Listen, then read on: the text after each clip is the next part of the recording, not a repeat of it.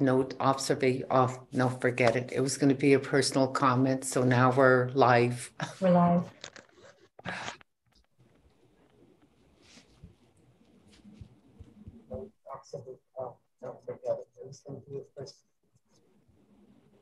We are ready to go.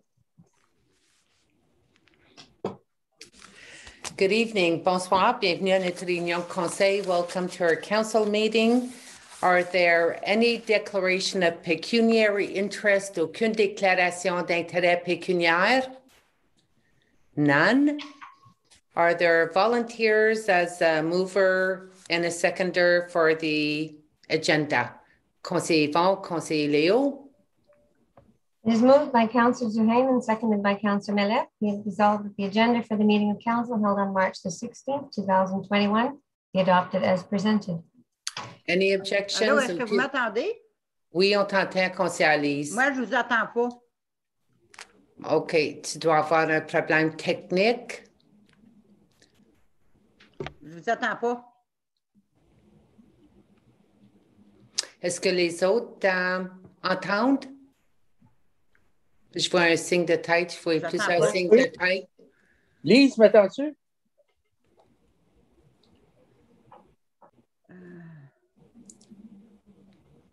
Probablement c'est son volume sur son iPad ou son, son ordinateur. Je ne vous entends pas. On t'entend, toi, par exemple.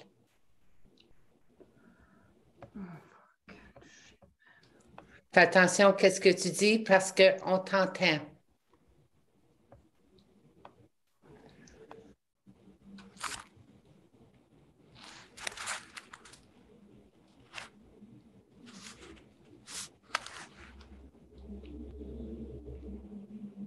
Just going to wait one minute to see if that technical problem is going to be resolved. Looking forward to the day where we can resume in person. May not be for quite a while still.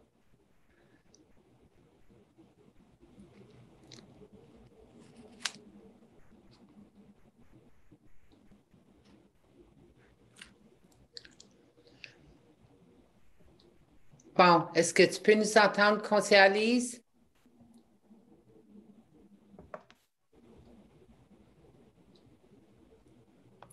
Conseiller Alice, est-ce que tu nous entends?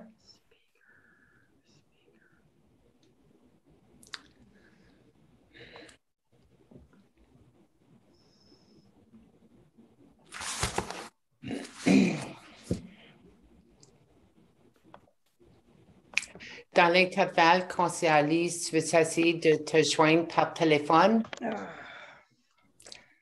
On t'entend.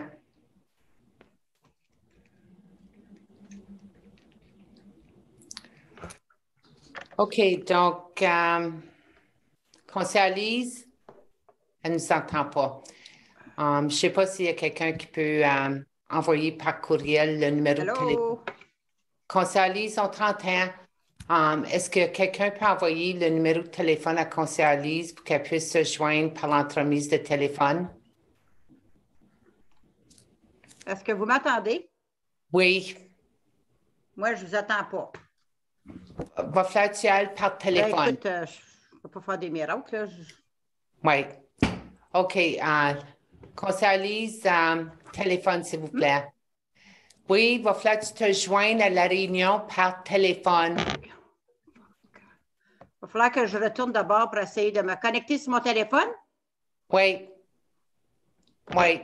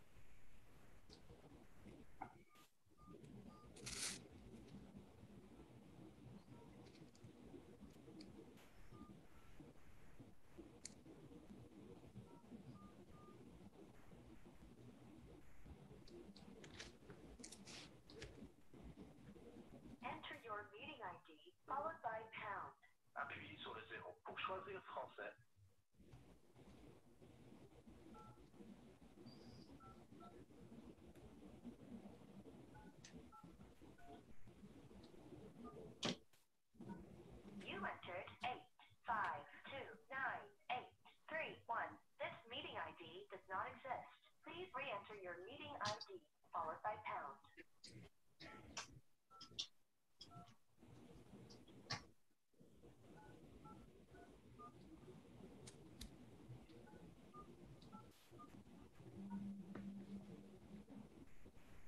Enter your participant ID followed by pound. Otherwise, just press pound. Please enter the meeting passcode followed by pound.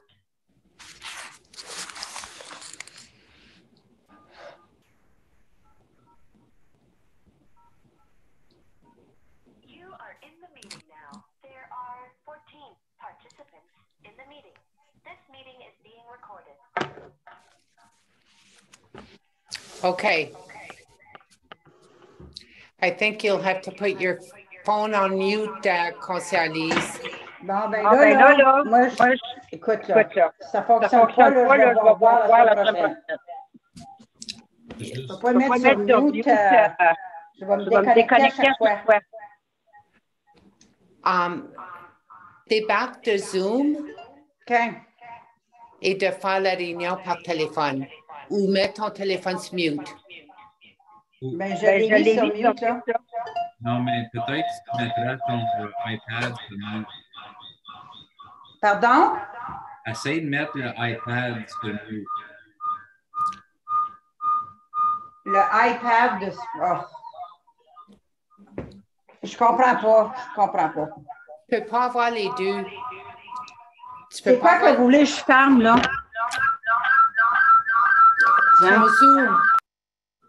Bon. Tu es encore là, Conseil Lise, par téléphone?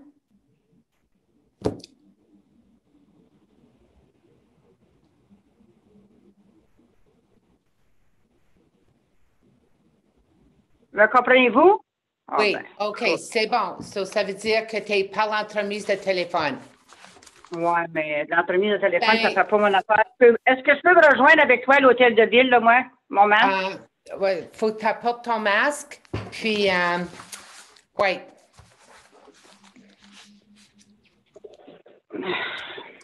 Parce qu'on est prêt à procéder la réunion, parce que comme c'est... Ben, vas-y, parce que moi, je peux pas fonctionner de même, là, de pas voir ce qui se passe, là. Soit que je m'en aille à l'hôtel de ville, ou ben donc, euh, je vais voir la semaine prochaine.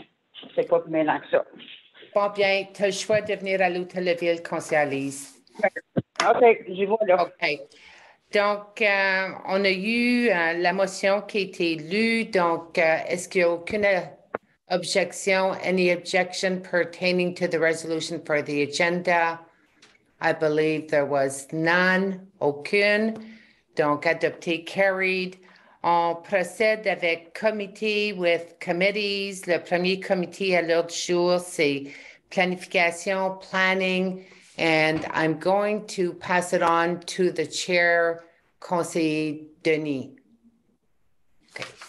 Merci, uh, Madame la Mairesse. Uh, We have uh, only one item for uh, planning, and it uh, was brought up by me to put on the agenda because I'd like to know when the um, the trailer parks uh, information or bylaw will come back to the planning board so that we can have our public meetings.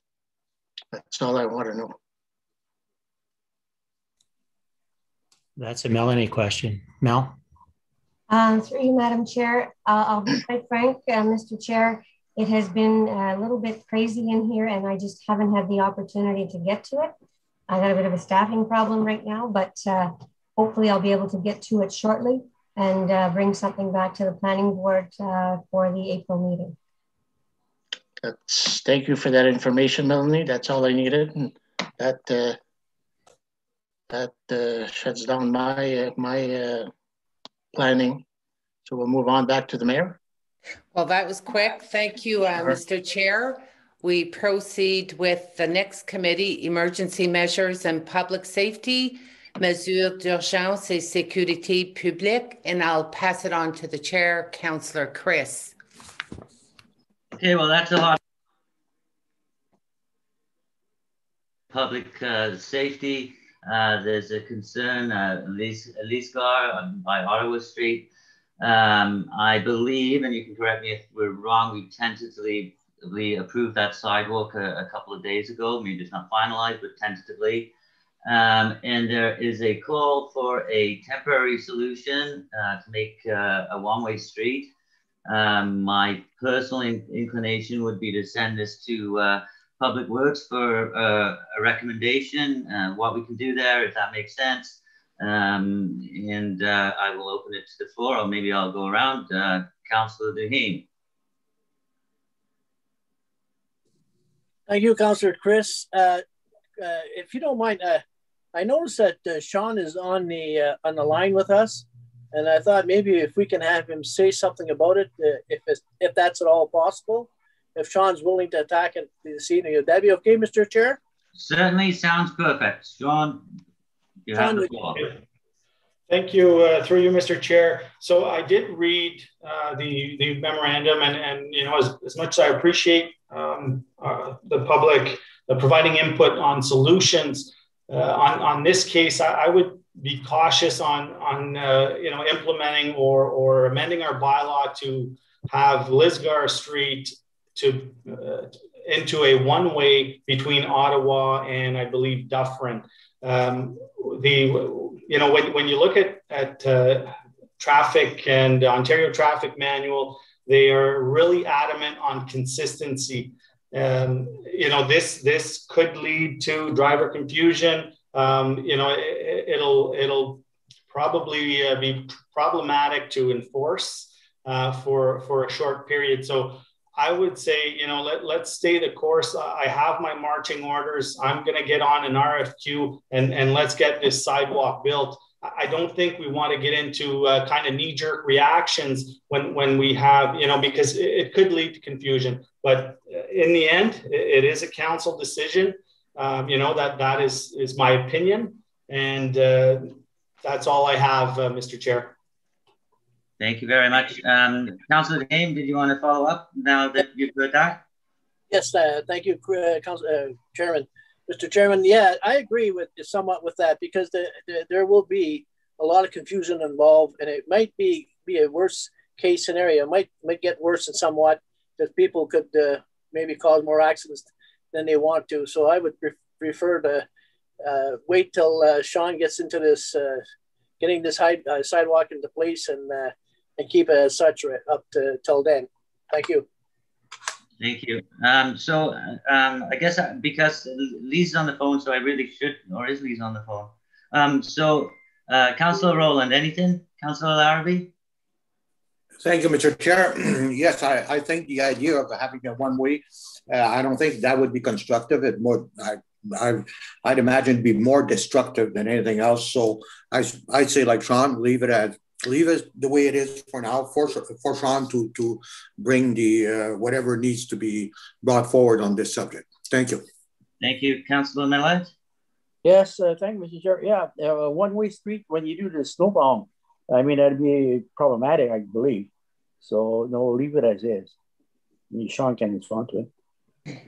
Thank you, uh, Councillor Roveda. I agree with Sean. Um, I, I run in that area and it, I don't know. I was trying to figure out how the heck that would work.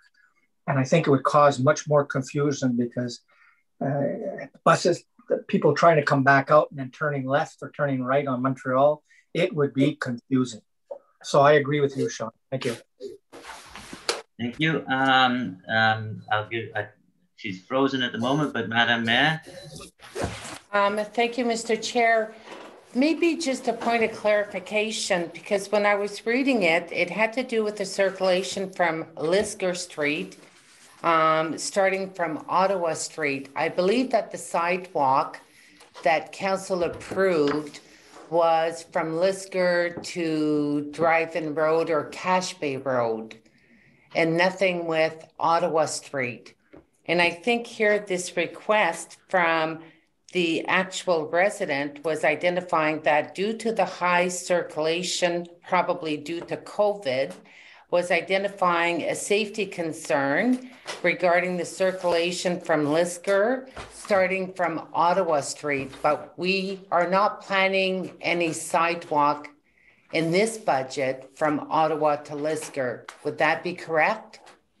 So the, the sidewalk, Madam Mayor, is uh, through you, Mr. Chair. Uh, the sidewalk that, that is proposed for Lisgar Street starts at the school. So uh, at Jeunesse Active and, and goes all the way out to Cache Bay Road to lead up to the other uh, sidewalk on Cache Bay Road. So yeah, it's for that entire stretch of road.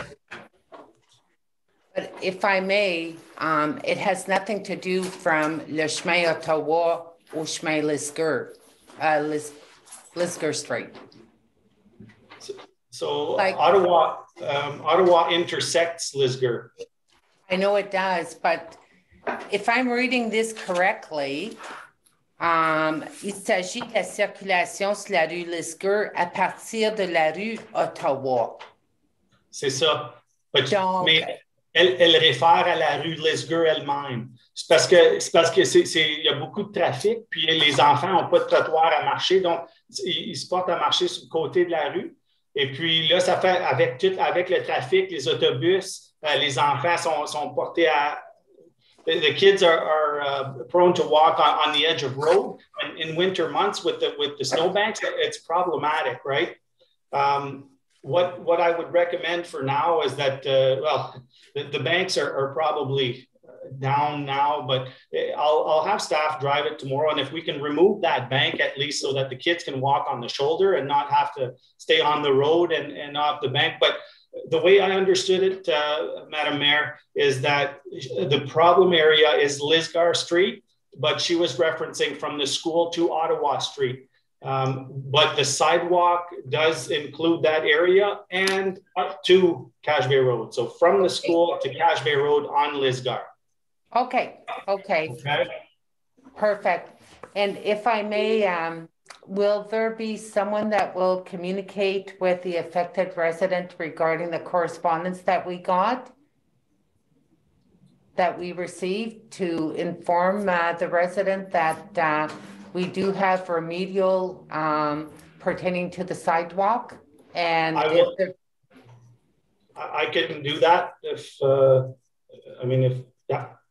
Okay. The, uh, the clerk's department also, Janice usually sends out uh, some um, uh, some letters uh, to close the loop on uh, those things. So Janice can do it as well. Okay, thank you. Okay, um, so uh, Councillor uh, Denis Senecal, anything? yes, I, well, I just agree with Sean that we can look at it and maybe just move the snowbanks for now and see where we go from there. Okay, th thank you. Uh, Councillor Lee Senecal. No, I'm okay. I missed, uh, so it's okay. Okay, so I think uh, we I think that one's done. We have general consensus. Uh, so moving right along, uh, we have the issue of. Um, uh, sorry, I just got to find the page. Um, Okay, so the uh, it was a this was an information only thing, I believe. Uh, it was to do with the ingress egress of the property due to uh, parking of a commercial vehicle. Um, it has been checked, and uh, there is no um, there's no breach of, of any bylaw. So um, I guess I could quickly go around. Anything, uh, Councillor Duhaime? Is Councillor Duhaime frozen, or is that just me? Nope. I'm sorry. No, it's, it, it explains itself well here, and uh, and I agree with what's being said. Thank okay. you. Thank you, Councillor Larabie. No problem with it, man. No problem. Councillor Malette. Same thing. Thank you. Councillor Roveda. No issue. Madam Mayor. No, it's clear. Councillor Senecal. Denis Senecal. No, it's good. Thank you. Councillor Lee Senecal. That's good. Okay, so thank you very much. I apologize for not being quite as quick as Dennis, but uh, this ends the uh, emergency measures and public safety uh, section of the meeting, and I will hand the chair back to the mayor. Thank you. Thank you, uh, Mr. Chair. So we move on to um, economic development, development économique. And we have one item on the agenda, and that has to objective and priorities of the Economic Development Authority, the presentation that was done by the chair of the committee to council on February 16th. And based on the presentation, there were three objectives that had been outlined pertaining to housing, uh, marketing, the uniqueness of West Nipissing, and to foster investment and business uh, friendly environment. So I guess based on the presentation that was done to council, uh, the committee, the Economic Development uh, Authority Committee is seeking direction from council if council agrees with the priorities that were set and presented on February 16th, and also with the feedback that was shared pertaining to making sure in having a labor market study to make sure that we have the resources available for any new development that comes into West Nipissing. And also there was the comment of uh, affordable housing. Well, should um, include all needs within the boundaries of West Nipissing, whether it's affordable, uh, whether it addresses uh, people that uh, require shelters, uh, address the issue of those that are doing couch surfing, and so on. So uh, what I'm going to do is I'll ask our director of uh, community services in Geb to see if he's had if you have anything else to add, uh, Stefan. No, I think you've covered it all, Madam Mayor. I guess at this point, the committee is looking for uh, some uh, direction and endorsement of the plan that they've prepared uh, coming from council. So I guess that's where we're at with this now. So what I'll do is uh, a quick roundtable just to find out, you know, who supports the plan. And of course, that plan um, is always subject, you know, to feedback provided by council members on local priorities. So what I'm going to do, Conseiller Yvon, do you? Yeah, thank you, Madame Medes. Uh, uh, after looking at the plan, it's it, no, I, I don't have any problems with it. It just seems to be the same issues that we're dealing with every uh, in everyday life with respect to small communities. But uh, I hope they're they're successful, and I would uh, certainly back them. Yeah. Thank you. Okay, thank you, Councillor Chris. Um, so yeah, I, I agree with the plan. I did have one question. Um, I I was waiting. It's unfortunate that we haven't done this at budget yet. Because really, I could ask it there. But um, the one thing that I would like to see, and I know it's on the list, but sort of concrete rubber to the road is uh, it's been a number of years since we've had um, a, a, tourism brochure put throughout the, the tourism places and uh, you know, I, I think we live in a in a beautiful place, and we should let people know that. And I just wonder if if that's something for this year, or if that's sort of a next year thing. I just think it's a shame that we don't advertise this better like that. Thank you. I really thank you for bringing that forward because definitely part of uh, the marketing campaign and promoting West Nipissing and the uniqueness of West Nipissing is um, developing that plan and coming back to council with uh, the recommendation of the marketing plan and also making sure that we don't miss out on anything. Thank you, Councillor Chris. Uh, duly noted and will be shared with the committee as well. Conseiller Leo? Councillor Rowley before me, I think, Madam Mayor. I know, but can you proceed and I'll go after with yeah. Conseiller Rowley? Okay, Madam Mayor, yeah, we're, I'm all, I'm all good with the, with the plan. Okay, thank you. Councillor Rowley? Um, I'm okay with it at this time, Madam Mayor. Thank you. Thank you. Conseiller Dan? Uh, I'm all right with it. However, um, one of the things that I brought up when they did the presentation was that I, I firmly believe that there has to be a, a labor force analysis for West Nipissing, uh, determining the skill sets we have in our community, because my experience, and I have a lot of experience in that, is that for the first question an employer will ask a potential employer will say, What kind of labor force do you have? What kind of skill sets do you have? What are your average salaries? Blah, blah, blah. I think it's vital that that has to be put, to, and I had mentioned that when they did the presentation. So I think it's important that that, that be part of it. Uh, and the second question that they'll ask, and that again, that's from my experience, is that uh, what kind of wage subsidies exist uh, that uh, we could tap into, whether they're provincial or federal. And that is another important thing because I think that's vital if we're going to try to attract new business to the community. We have to know, you know, what kind of what can we offer to employers in as much as the skills, you know, and just as an example, we have a great bilingual force. Uh, some of the other things are skill sets that uh, an employer will ask. So that's the only thing. Reg- uh, regarding the other part of it, totally agree. It's a good good start. Okay, thank you. And then Conseil Denis. Uh, I have no issues with the plan. I think it's a good plan, and we'll let them get started, and then we can revisit it. So I'm good. Thank you, Conseil Elise. Well, uh, pertaining to uh, Conseiller uh, Dan, uh, it's uh, duly noted, and uh, it, is, it has been brought up. Obviously, the two main important, uh, you can have uh, a thousand uh, people that can be hired on one industry. Uh, First of all, we need housing, and then we need the labor force to be able to do that.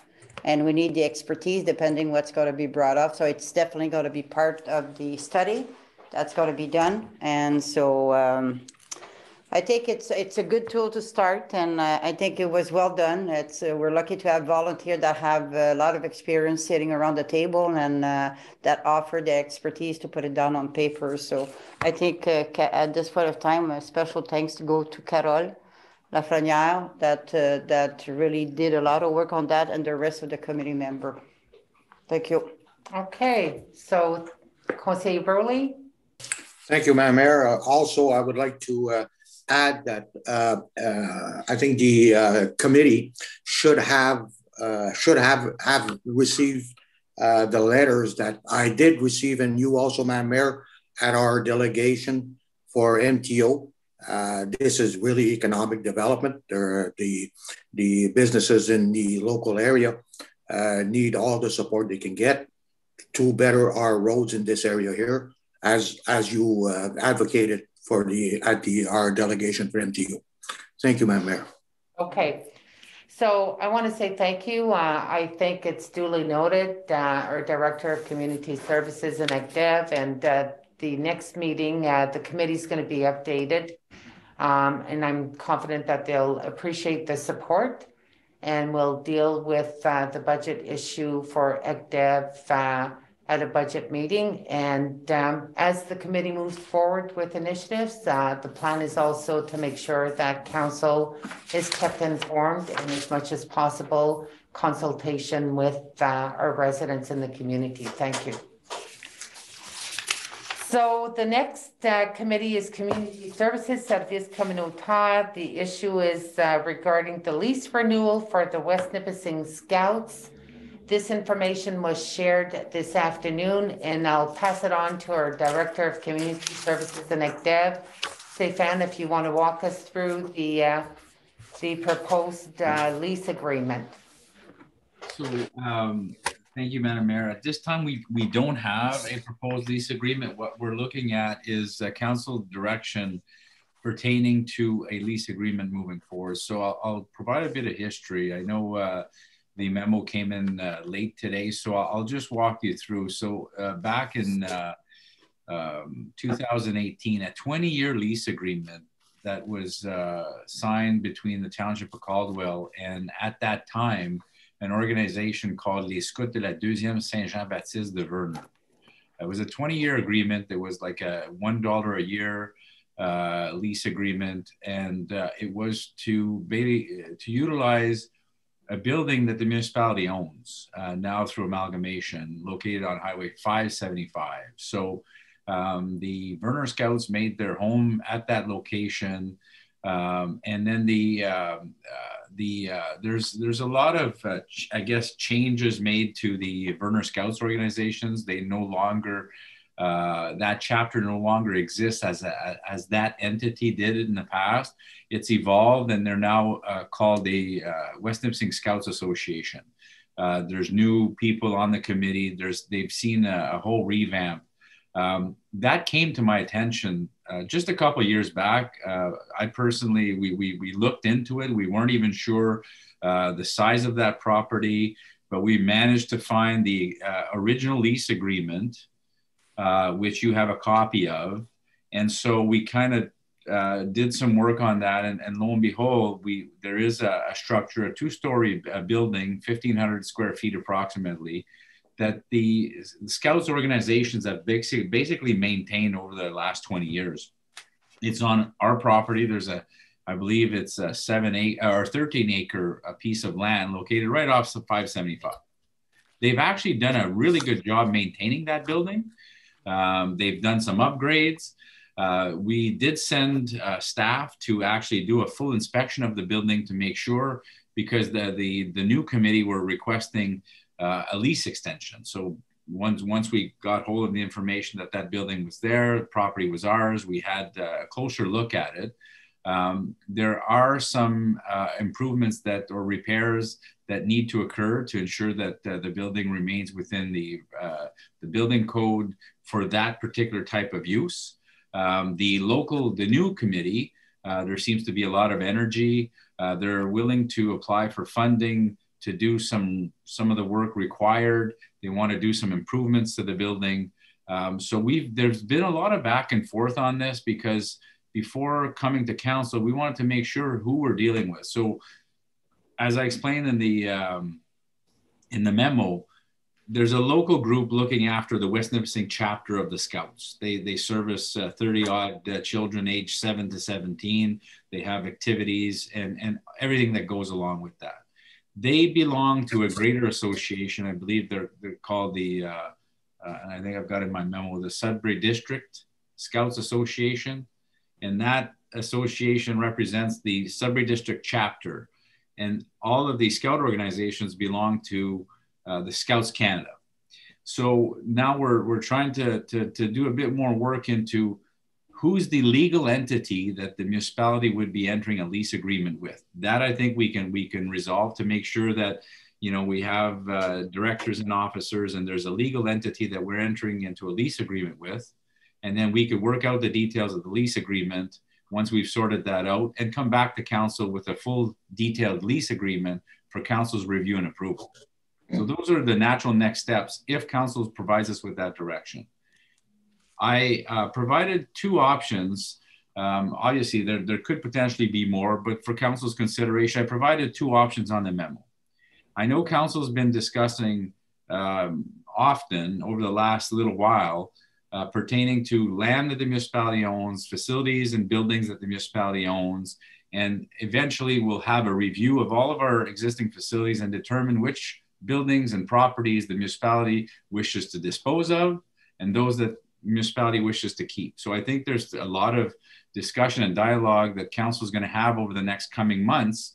So one options we're recommending is to enter into short-term lease agreement with the local club and look at a basically a month-to-month lease, similar to what we've done with the West Nipissing Chamber of Commerce in our information center. We didn't want to enter, enter into a long-term lease because council will exactly make those types of decisions on that building moving forward. Um, this will allow council an opportunity to complete a review of municipal buildings and land to provide strategic direction regarding properties assets moving forward. Second uh, option for council's consideration, council could so wish to enter into a long-term lease agreement. We would recommend uh, no more than a five-year plus a five-year re renewal option, but we would also recommend that in the lease agreement, that we do have an out clause uh, should the municipality wish to dispose of the asset at a future time. So those are the two options that I provided the council for consideration. Okay.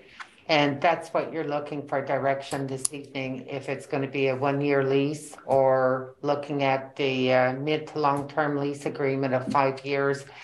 Just a quick question, Stefan, before doing a roundtable. Um, did the group identify any preference or do they feel that they'd be vulnerable if the lease would only be one year? Because I think, uh, I don't think it's council's wish um, for them to uh, feel jeopardized in any shape or form if it would be a one year lease. I, uh, Madam Mayor, I haven't discussed the terms of the contract. I, I felt that, uh, of the lease, okay. I felt that I, I should bring this forth to council. So I'll just caution one thing generally when you get funding from the federal or provincial government to do leasehold improvements or repairs or any work required in the building, they will request to see, especially if the organization does not own the building, that in order for them, the government to invest money into a facility, they want to make sure that there'll be a, a long-standing lease agreement so that at least that investment is protected. That the Okay. government doesn't show up in a private building, for example, put money and then the private sector turns around, they sell that building after it's been renovated or whatnot. So they would risk potentially not getting funding this year if we would only have a short-term lease agreement. Okay. Um, but that being said, we feel that the building is such is in really good condition. There might be limitations, however, but they could still continue to use that building for their purposes for at least another year. Okay. Okay, so those are the two options. I'll do a roundtable to see what's uh, the opinion and uh, the decision of uh, council members. Conseil Yvon? Well, thank you, Madame Menace. Uh, while Steph was talking, uh, he mentioned the word uh, they're enthusiastic and they're they're willing to do things. They're working hard. They're keeping it up. They want to apply. They want to do everything humanly possible to see this work, and that is the key words that make me or get me interested. Um, if if they're you know, I, I it's just something for our children to do. I think uh, it, it have always proven themselves as being a good club. Uh, I I would support them 100%, whether it means to give them a lease for five years, as Stefan mentioned, with the option of others. Uh, I, I strongly support people that are willing to work for the work hard for their for their cause. So I, Madame Medes, would suggest that uh, we do allow them to a, a five-year lease with options for further, uh, and uh, with the conditions as he had mentioned.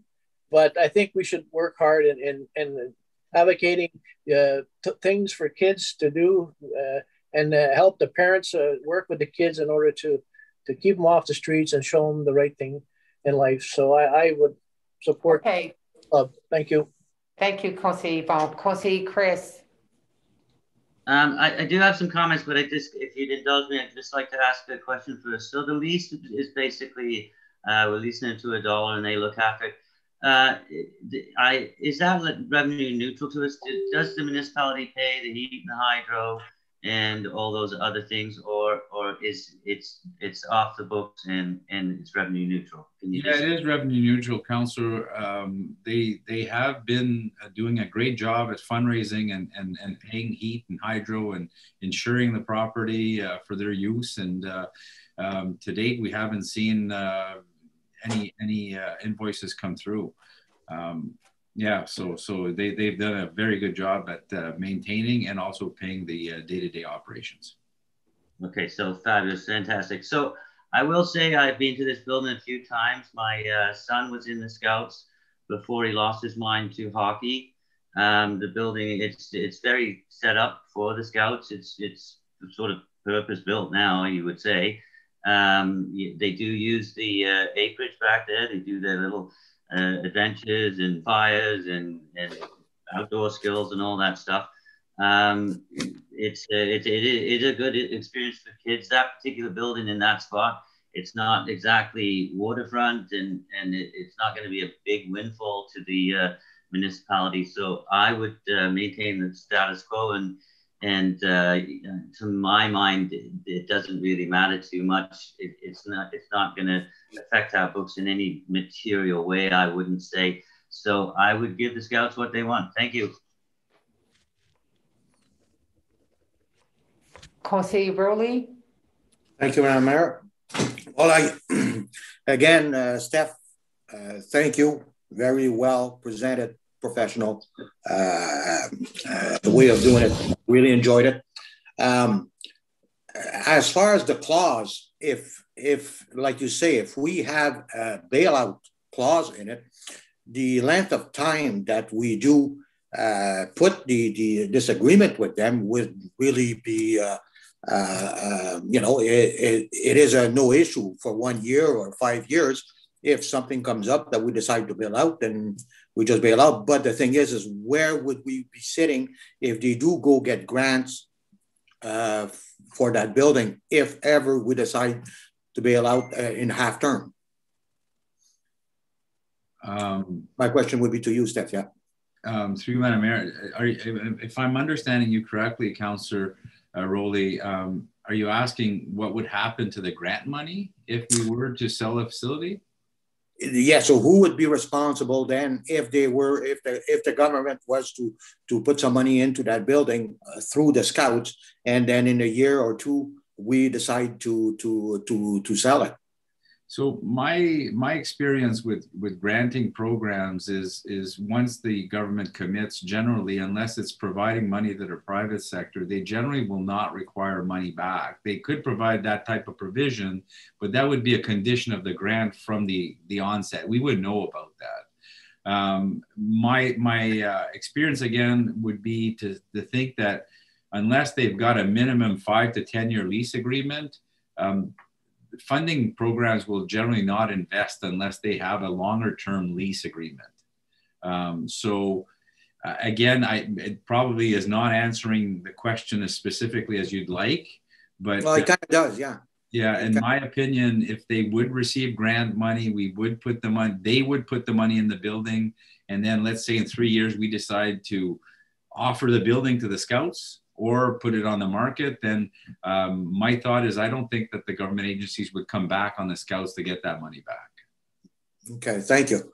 Well, uh, in that case, like I, I support the scouts, uh, uh, always did, and uh, also my sons were in the, the, scouts at one time, and so yes, I don't have any problem for for their request. Thank you.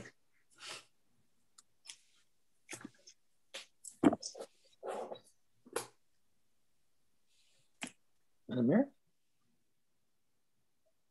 I think you might be on mute, Madam Mayor. I will. Okay, Jose Rowley, one-year lease or a five-year lease? That's the direction we need to give uh, to our Director of Community Services. Oh, if, you know, for safety, let's put it one year and, but uh, renewable, no problem. Thank you. Okay, one year. Conseil Leo. Yes, uh, same thing, Madam Mayor, and uh, whatever. Uh, I know Stefan will come back to council with with, uh, with options, and then you okay. know whatever. And, and long term, uh, I agree with the long term. Okay, so you agree with the long term? Yeah. Okay. Pardon? I said a recommendation for five years. I'm okay. Okay. Okay. Thank you. Conseil Dan.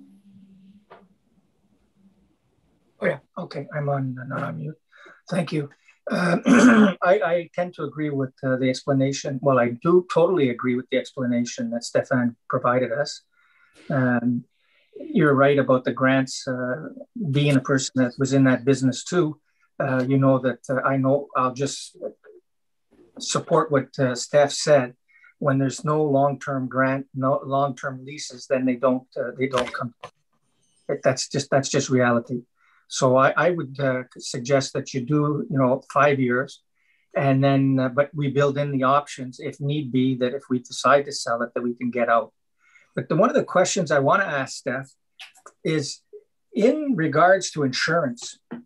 Uh, they're, covered by the, uh, you know, the, the the umbrella of scouts, but if the proper name is not there, there's liability issues. And, and uh, yeah, if I may, Madam Mayor, through you, uh, that's that's correct, and that's why we need to uh, really, uh, before we we come back with the lease agreement, we have to figure out which legal entity. So it, it could potentially be that we have a lease agreement with the Nipissing District because they are legal entity, or the Sudbury District, the Scouts, uh-huh. and and that in turn they would sublease it to our local group but every group would have to provide certain level of insurance on their operation and, and how they use the facility. We as a municipality still make sure that our property is insured, but they mm-hmm. have to do insurance and add the municipality as an additional insured. That's right. Good. Thanks, Steph. Good explanation. Jose Denis.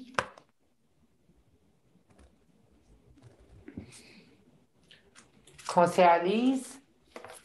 Uh, well, I obviously support uh, the, the Scout. It's it's clear it's a good program for youth and it's been there forever. And uh, I think that's one that lasted the longer because I remember Scout when I was young. So it's been a while. They'll be around. So I do support five year to give them a little bit of stability.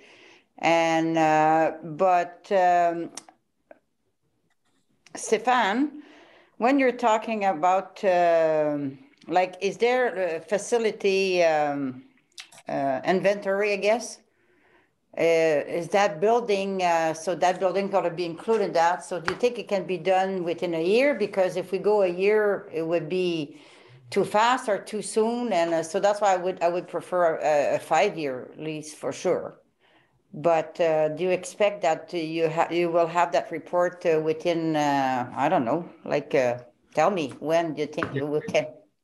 I, I- I think, I think that we have to come back to council for a, a lease approval in the short term. So I think that should happen fairly quickly because they need that lease in place to be able to apply for funding. I think funding programs are, are currently open right now, so timing is of essence uh, to at least get the lease uh, signed and agreed to by both parties.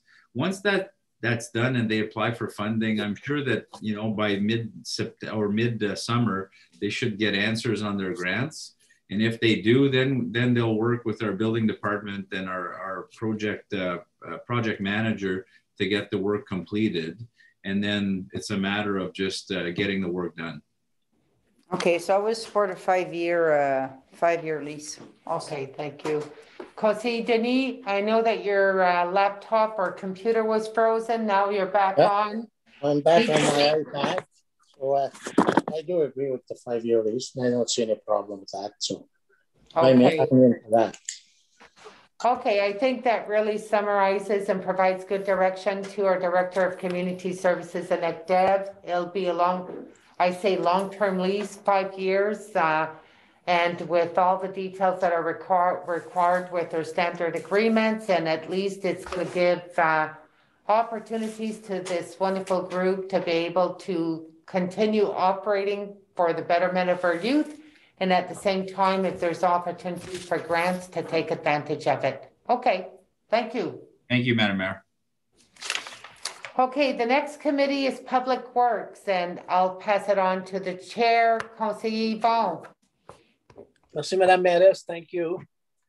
Uh, We have one item on the agenda this evening, and that's uh, Nature Trails Bridge. Uh, Many of you have had the opportunity of reading what is before you now with respect to the history of uh, where we are, we're at with uh, the bridge. Uh, The estimate at one time, I think was 600,000 now. The total estimate would be, would exceed $1.2 million to build. Now, uh, I, I'm going to ask Mr. Barbeau if he would have anything to add to that, to that list, or No, um, uh, the, that- just to point out that it was a council uh, decision to limit the, uh, their, uh, their investment to four hundred thousand, and that's when it was uh, slightly over six hundred, and that, uh, part of that difference, uh, probably instead, or Sean can correct me if I'm wrong, I'm sure he will, uh, is because now, given the uh, delays, we're looking at the deck as well. Would that be part of the increase, Sean? And the different designs that were requested, but the deck is now added, right? Correct, yeah. So the, the, yeah, the new bridge deck that's in addition, and as well as the, uh, the- recommendation from the local residents in, in keeping the bridge in ex- existing area, right? So it changed the, uh, the scope and the design as well. So thank you, uh, Jay, thank you. So obviously, the the there is a, a, a there is an increase with respect to keeping the bridge in this place.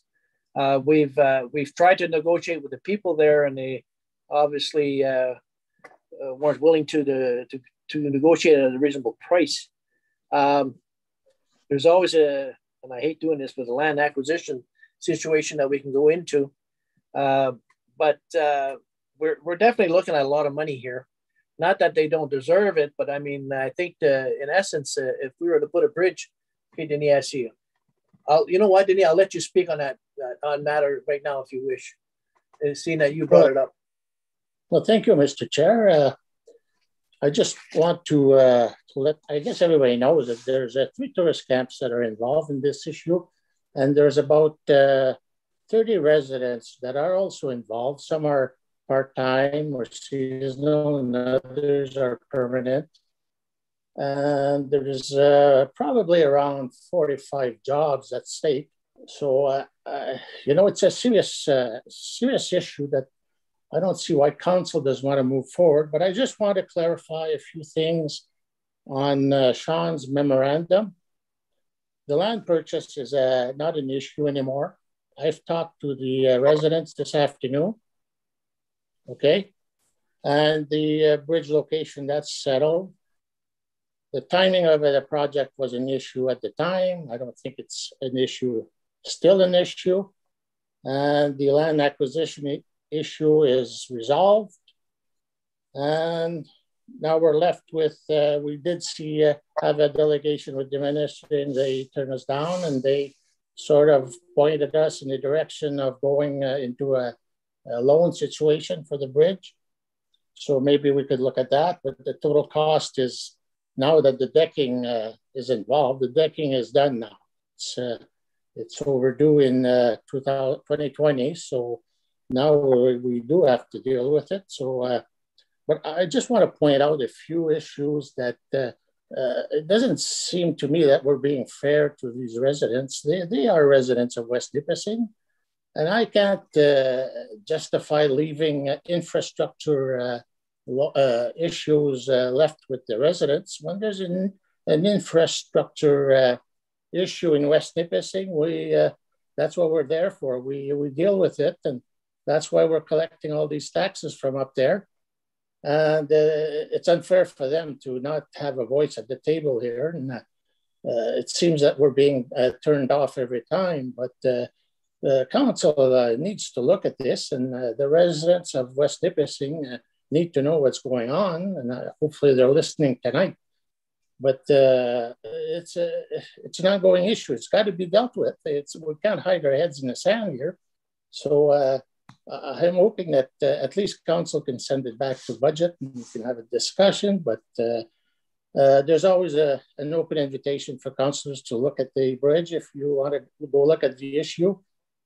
And uh, what else do I, uh, yeah, so all the, there's some issues that have, have been dealt with through communication, and I think that's the key here.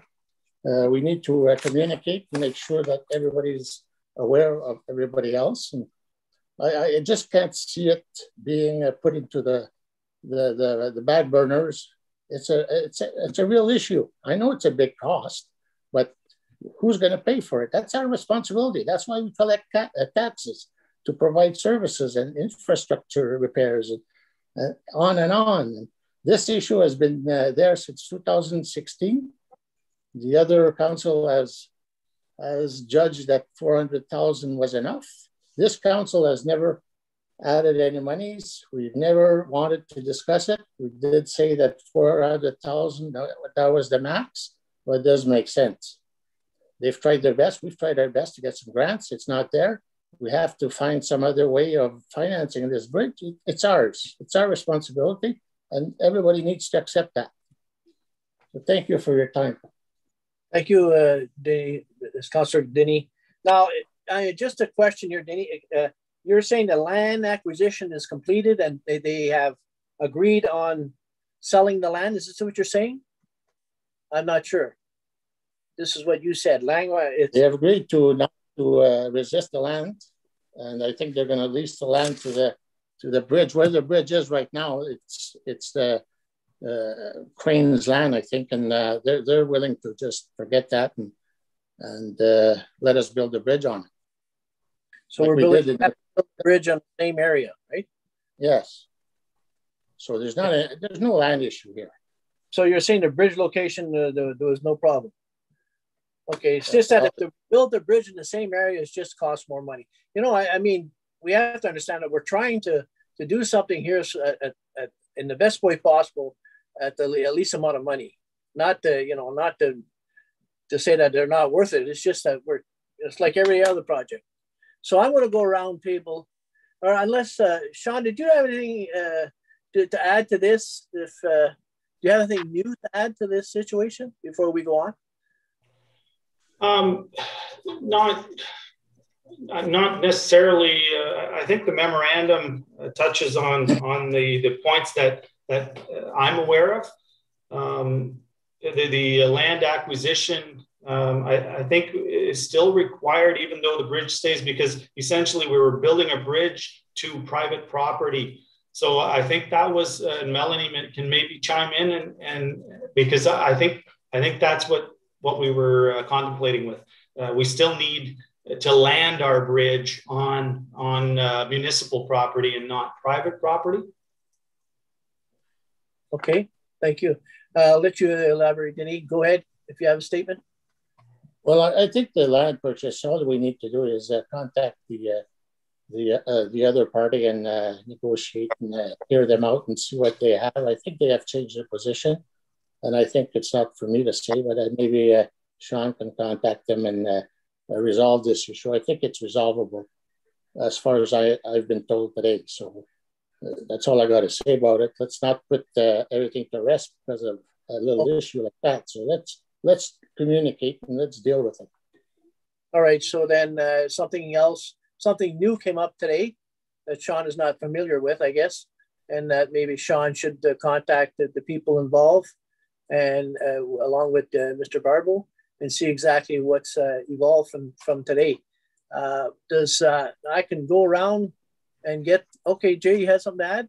Well, I, I think uh, uh, prior to, unless you want to carve out this part uh, of a budget discussion, but as Councillor uh, Senecal has uh, advocated, it really comes down to what is council's wish with regard to uh, spending uh, the appropriate amount of monies uh, in order to uh, satisfy this bridge. And uh, if there's a change of council position, at um, then uh, we'll reflect it in the budget. But prior to uh, raising hopes and negotiating land, we want to be a little bit closer to the thought that council will be, uh, you know, will be um, amenable to um, funding it.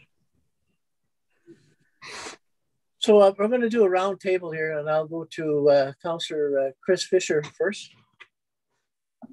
Uh, so I just have a, a couple of questions. Um, so I hear the word private property, landing a bridge, and I immediately think of the bridge in Crystal Falls that was paid for by the residents. So my first question would be, what is the difference between this bridge and that bridge? Because that was not paid for by the municipality. And secondly, I'd be interested uh, to look at the, I realize time has transpired and it's more money.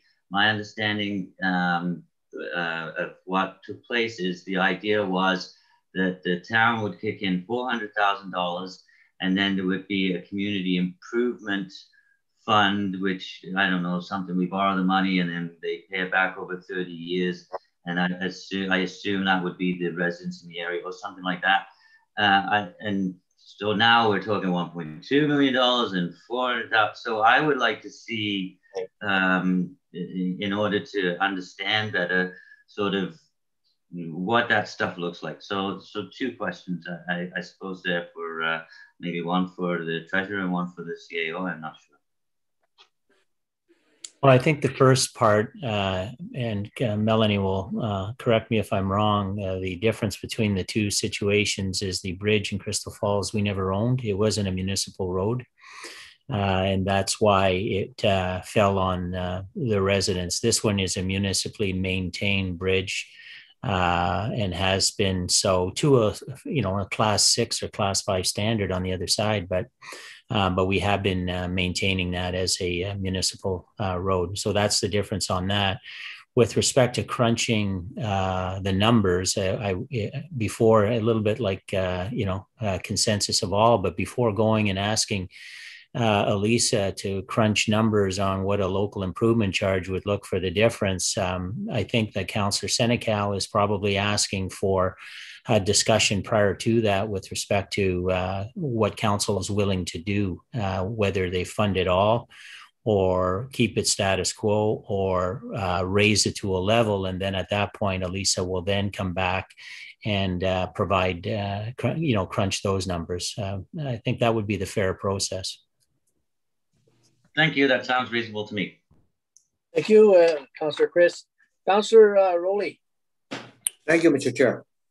Well, uh, to uh, insinuate that council is, is, is unfair on this issue, uh, I, I, don't think that's right, uh, Council Denis. Um, at, at the time that was brought forward to previous council, it would have, uh, uh, the cost to rebuild that bridge was uh, 400,000 and council was ready to go that route, but the resident were not. And this is why it's been pushed back and back. So he says, we'll put this amount in a reserve. So if ever they get to, to agree, the money would be there. Now it has escalated. It's not councils uh, that, that did this. It's the people that could not get along to get that bridge at that place. So it's not council's problem. It is the residents' problem. If it would have been done at the time, that bridge would be there now and people would be using it.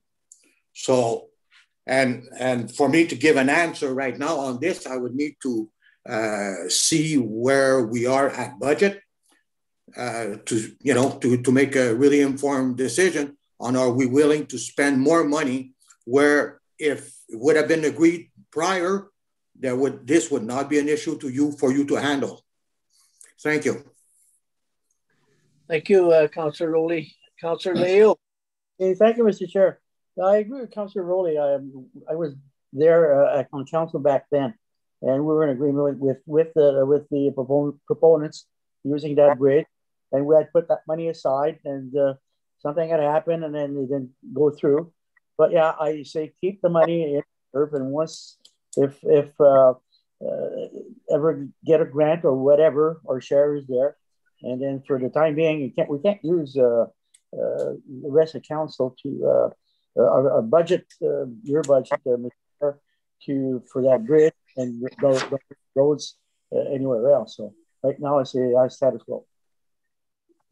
Thank you, Councillor uh, Leo. Uh, Madame Maris.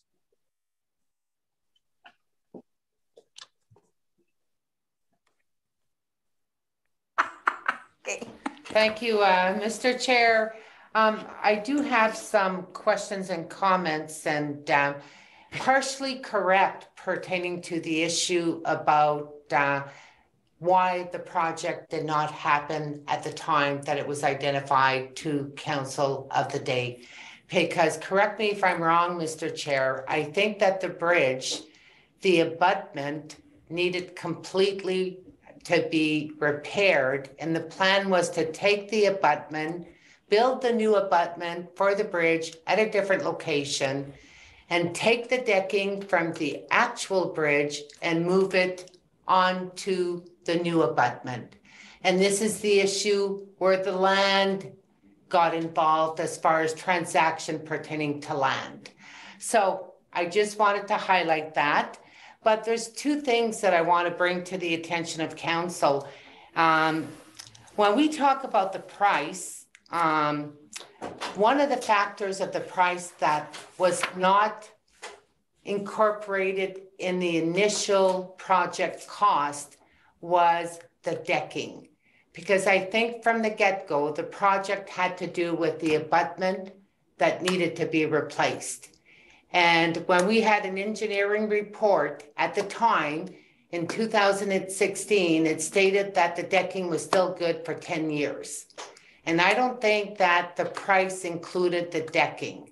Now, with further engineering that was done or further review with the engineering firm, it was identified that it's not no longer just the abutment of the bridge, but you're going to be in a position that you're going to have to replace that decking.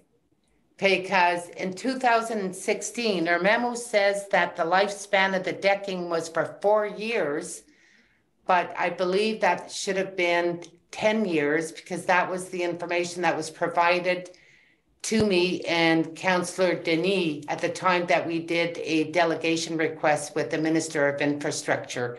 So when we look at the increased cost, we're also adding a component to this project that now has become a critical issue and is now time sensitive because there's no sense in rebuilding the bridge and putting old decking that you're going to have to come back in a few years because the clock is ticking and be required to replace that decking. So I guess, Mr. Chair, I'm asking clarification regarding that since we have Sean, our manager of Public Works with us. Did the initial price, the initial costing for the project for the bridge include the costing for the decking at that time? Or did it just specify that the decking would have a lifespan of 10 years remaining and that would need to be factored at a later date? So uh, through you, Mr. Chair, the scope of work identified in 2016 was to construct new abutments immediately adjacent to the existing abutments, grabbing the existing deck and dropping it on the new abutments, being less disruptive to the local um, economy uh, or the, the lodges and, and you know the the, uh, the cottagers. Okay, thank that you. was the that was the scope. So yeah, you're, you're correct that now um, there's no sense spending money on new abutments and, and grabbing an old deck that only has two life uh, two years of life left in it. So that you're you're correct, Madam Mayor. Okay, thank you. So I wanted to clarify that because when we talk about the price that has escalated from 2016 till now, uh, we also added a big portion of that project uh, regarding the rehabilitation at that bridge. Now we're talking about the decking, which was not being talked about in 2016. So when you look at 400,000 to 600,000, that's probably your 200,000 margin pertaining to the cost increase from that time to this time and add on the decking and add on also some other uh, additional remedial work required with the abutment as identified by our public works manager. So that's, um, you know, in fairness to the residents, I think that they need to know this and uh, I wanted to highlight that because we did all get an email from uh, cottagers on the island that were upset, stating that council was entertaining at spending maybe a million dollars on a specific project, which is an infrastructure which is owned by the municipality. We have like 35 bridges that we have to maintain. And unfortunately, uh, these bridges were inherited with amalgamation. And I think our job is to look at a plan on how we can address and maintaining our infrastructure. And as Conseiller Denis mentioned, uh, we're talking about the tourist sector and probably uh, the one that has been hit the hardest during COVID. 2018 forest fire, last year the flood, uh, the, the year after the flood, and now COVID. I mean, these individuals probably do not have money to spare to be able to invest it in a community improvement program.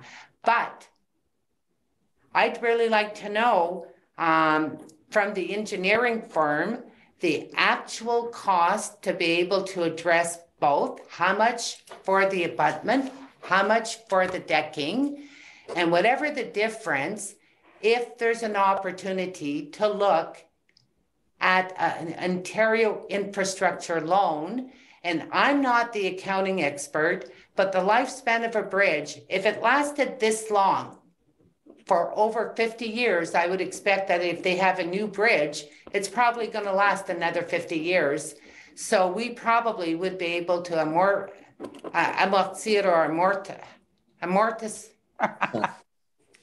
Someone can help me out. Uh, Amortize amortize uh, this bridge probably to the maximum of a loan. And even if we were to look at a loan that would be within the range of 5,500 to 600,000, you know what? You're looking at a budget cost of in the range of anywhere from 20 to 30, $35,000 a year.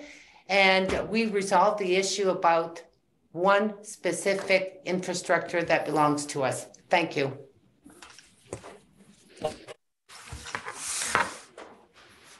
Okay, my turn. Conseil Yvon, uh, c'est mon tour? No, he's frozen. Okay, I'll go. Well, uh, my question is, can you give me an example of a bridge that we own in the area Like we now we know that the one in Crystal Falls do- doesn't belong to us, so it was uh, no way that we can pay for something with that, that we don't own, right? So can somebody name me uh, maybe a couple of bridge we have in the municipality? Mel, do you? Uh, and I mean, uh, like uh, bridge that it's used on a daily basis, and people. What? Okay. What's happening here?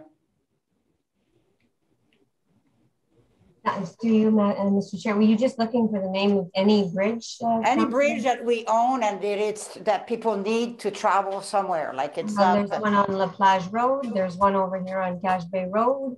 Savignac Road was actually uh, or, uh, caved in and uh, repaired by uh, the municipality probably around uh, 15 years ago. Um, Okay. so that was that was.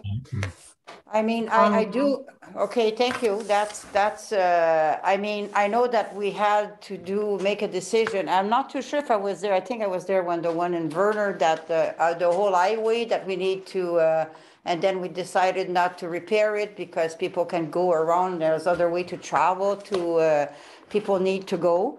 But right now, if we look at lodges and we uh, look at people living on that permanently and we lose uh, 45, even 30 or whatever job in the summertime, and the fact remain that infrastructure belonged to us. I mean, we repaired the other one. We're looking at other bridge. We're putting repair.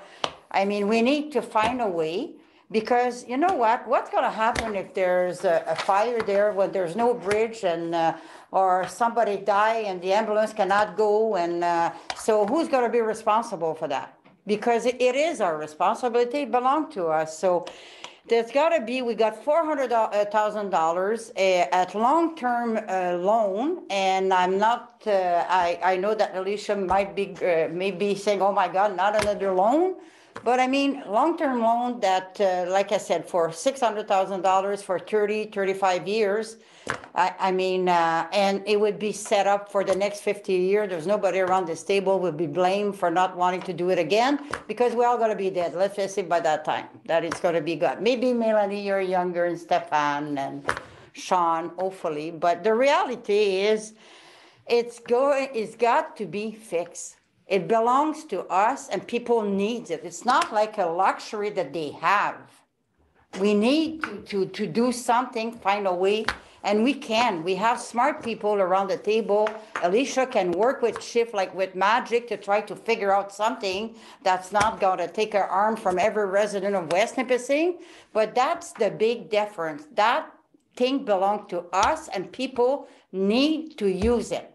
So how can you say no? How can, how can we say no and we're not touching that?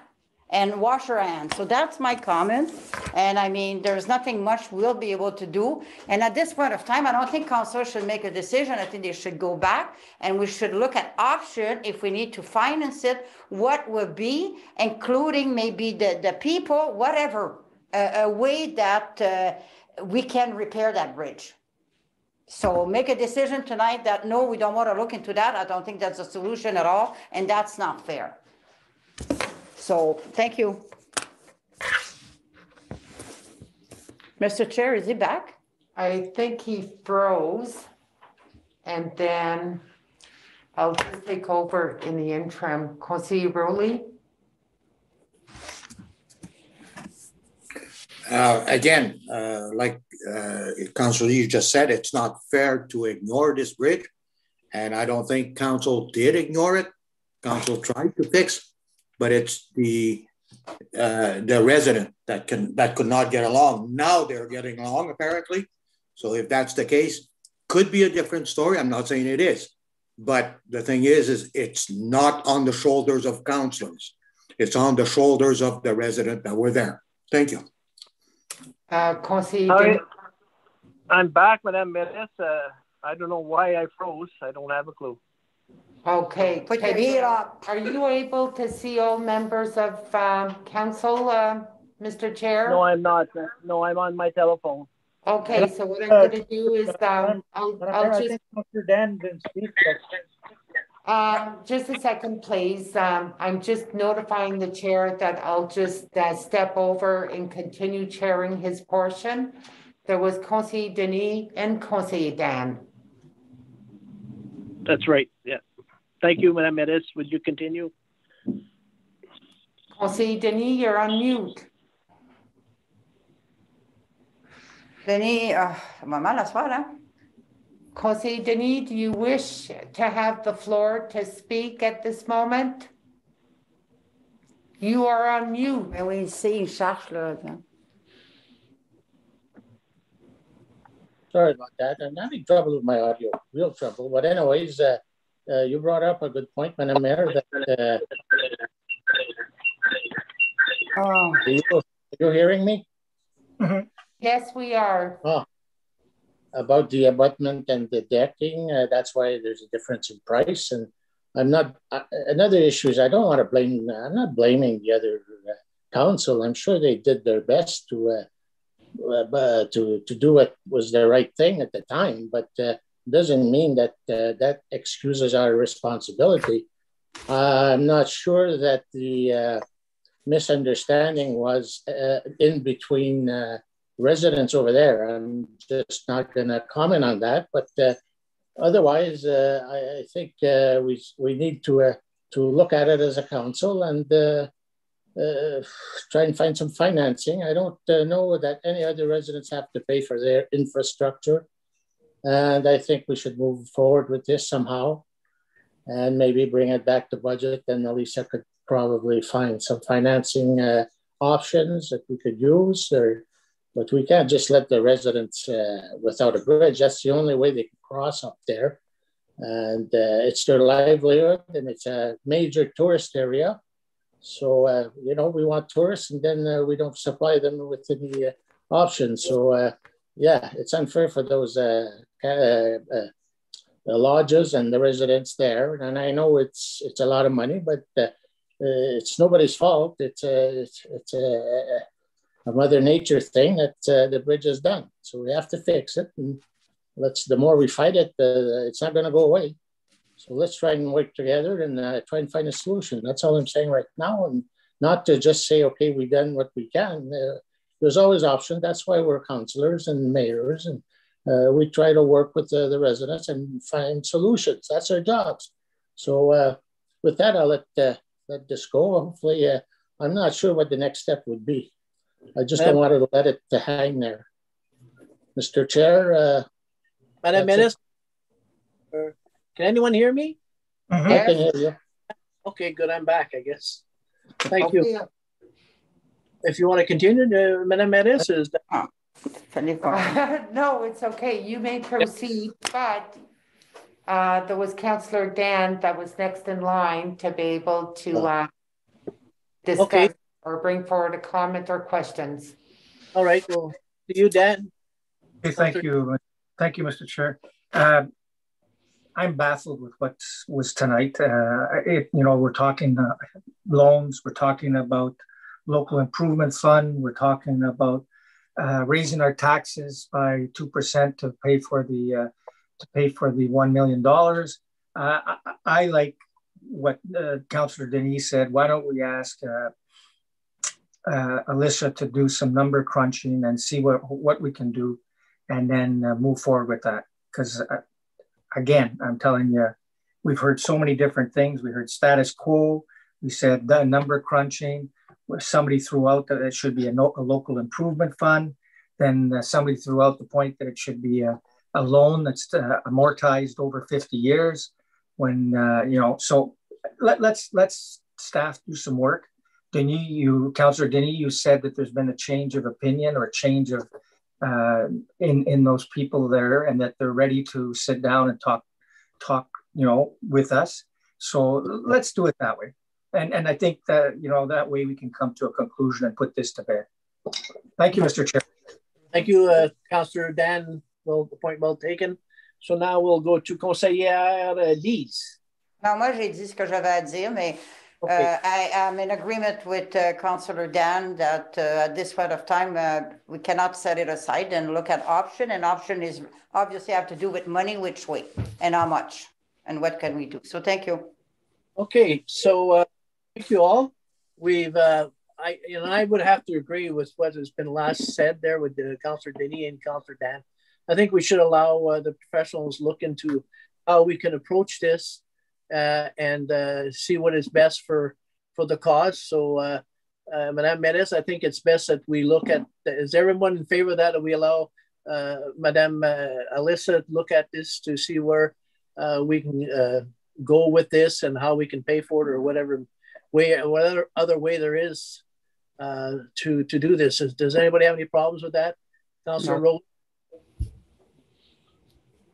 No, not at all. Don't have any problem with that. This is what I said before is we should, we should discuss this at budget. But it's just the idea of the blame, but that's okay. Now it's settled. No problem. Thank you. Thank you, sir. So then that's how we'll proceed. Then we'll ask Alyssa to to look at this and see whether uh, as to how we can approach this in a, in a, hopefully in a better way. So met us, that can, completes my uh, my issue here. So I now give you the floor. Okay, thank you, uh, Mr. Chair. Uh, It's nearly eight o'clock. That concludes our committees. Before proceeding to regular council, does council, and I'm just seeking direction, does council want a 10-minute recess? Yes. I would need a volunteer as a mover and a seconder. Conseiller Chris, Conseiller Elise. It is moved by Councillor Fisher and seconded by Councillor Lee Senecal at approximately 7:50 PM. Motion was tabled for a 10-minute recess. Everyone in agreement? Carried.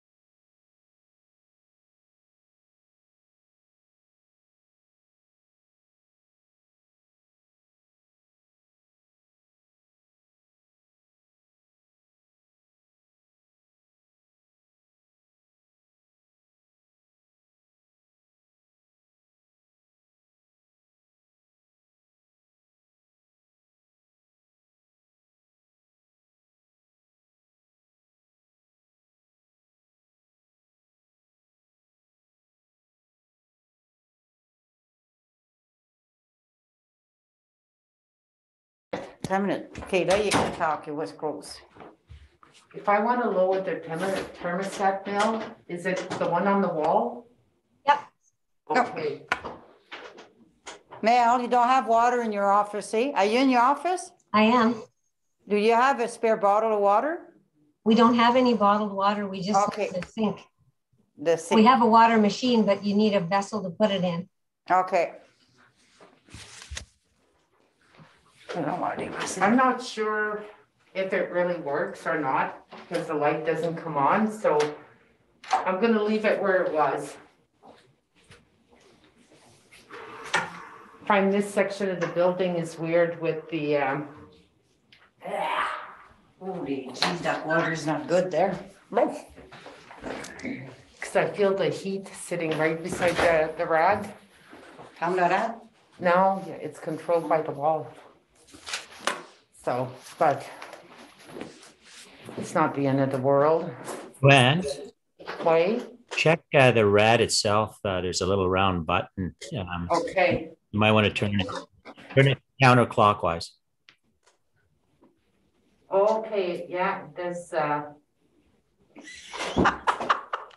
Oh, jeez, kill me, you. okay, we'll see if it goes, uh,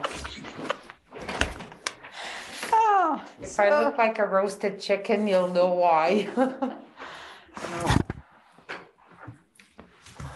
Ah, Okay, so, so it's, uh,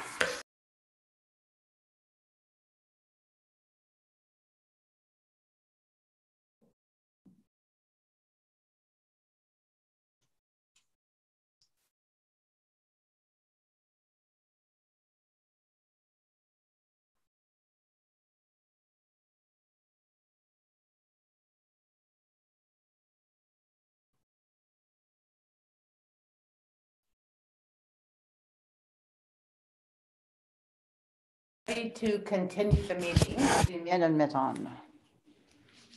And we proceed with the regular portion of uh, council, la réunion euh, régulière de la séance. On procède avec euh, planification with planning. Is there a volunteer as a mover and a seconder for the resolution? Conseiller Yvon? Conseiller Chris? It is moved. It is moved by Councillor Jaime and seconded by Councillor Fisher. Be it resolved that bylaw number 2021-16 being a bylaw to amend zoning bylaw 2014-45 to rezone certain lands located on Principal in Verner from residential two to residential three exception zone, highway commercial, and residential two holding zone shall come into force and take effect on the day it is passed. Okay, are there any questions or comments? This uh, was dealt with at uh, the Planning Advisory Committee and all the supporting documentation that the committee members were provided is also shared to all members of council. No objections? Adopted, carried.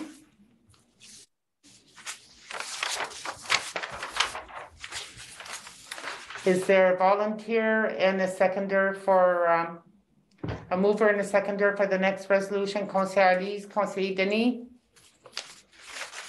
It is moved by Councillor Lee Senecal and seconded by Councillor Denis Senecal. Whereas a public meeting of the West Nipissing Planning Advisory Committee was held on March the 8th, 2021 to consider draft approval of a plan of subdivision application number SUBD 2021-01 made by 268-2213 Ontario Limited for a subdivision of seven lots and three blocks on lands legally described as lots one and two to fif- two to lots one, two, and five to 46, block B and block C, and part of lot 10, concession four in the geographic township of Caldwell. And whereas written submissions and public submissions were made and considered by the Planning Advisory Committee, and whereas the West Nipissing Planning Advisory Committee has recommended to Council for the municipality of West Nipissing that the draft plan be approved, subject to certain conditions. Be it therefore resolved that a draft plan of subdivision be granted for application number SUBD 2021-01 made by 268-2213 Ontario Limited for the subdivision of seven lots and three blocks on lands legally described as lots 1 and 2, 5 to 46, blocks B and C, and part of Lot 10, concession 4 in the geographic township of Caldwell. Are there any questions or comments? Um, just very quickly, uh, the two resolutions with uh, the zoning and uh, the severances has to do with housing development uh, by a developer from the community of Verner. And uh, just as a provision identified in one of the documents, it's um, uh, there's going to be up to four separate duplex dwelling on one lot. And this was identified that it would be done in phases. Just a very quick question to our clerk. Uh, the actual subdivision agreement, we're approving a draft. Once the draft and everything identified as requirement or conditions will be brought back to council to approve the actual subdivision agreement? Uh, yes, Madam Chair. What is what will happen now is I believe that Mr. Miller had indicated at the Planning Advisory Committee that he's going to be seeking a pre-servicing agreement, which will allow them to get moving on the installation of the infrastructure. So he will be coming back to council with a pre-servicing agreement to start the infrastructure, which will set up the rules for the infrastructure, but the subdivision will come once uh, that uh, some of the infrastructure has been put in. Okay, thank you so much. Um, are there any objections? Aucune objection? None? Carried? Adopté?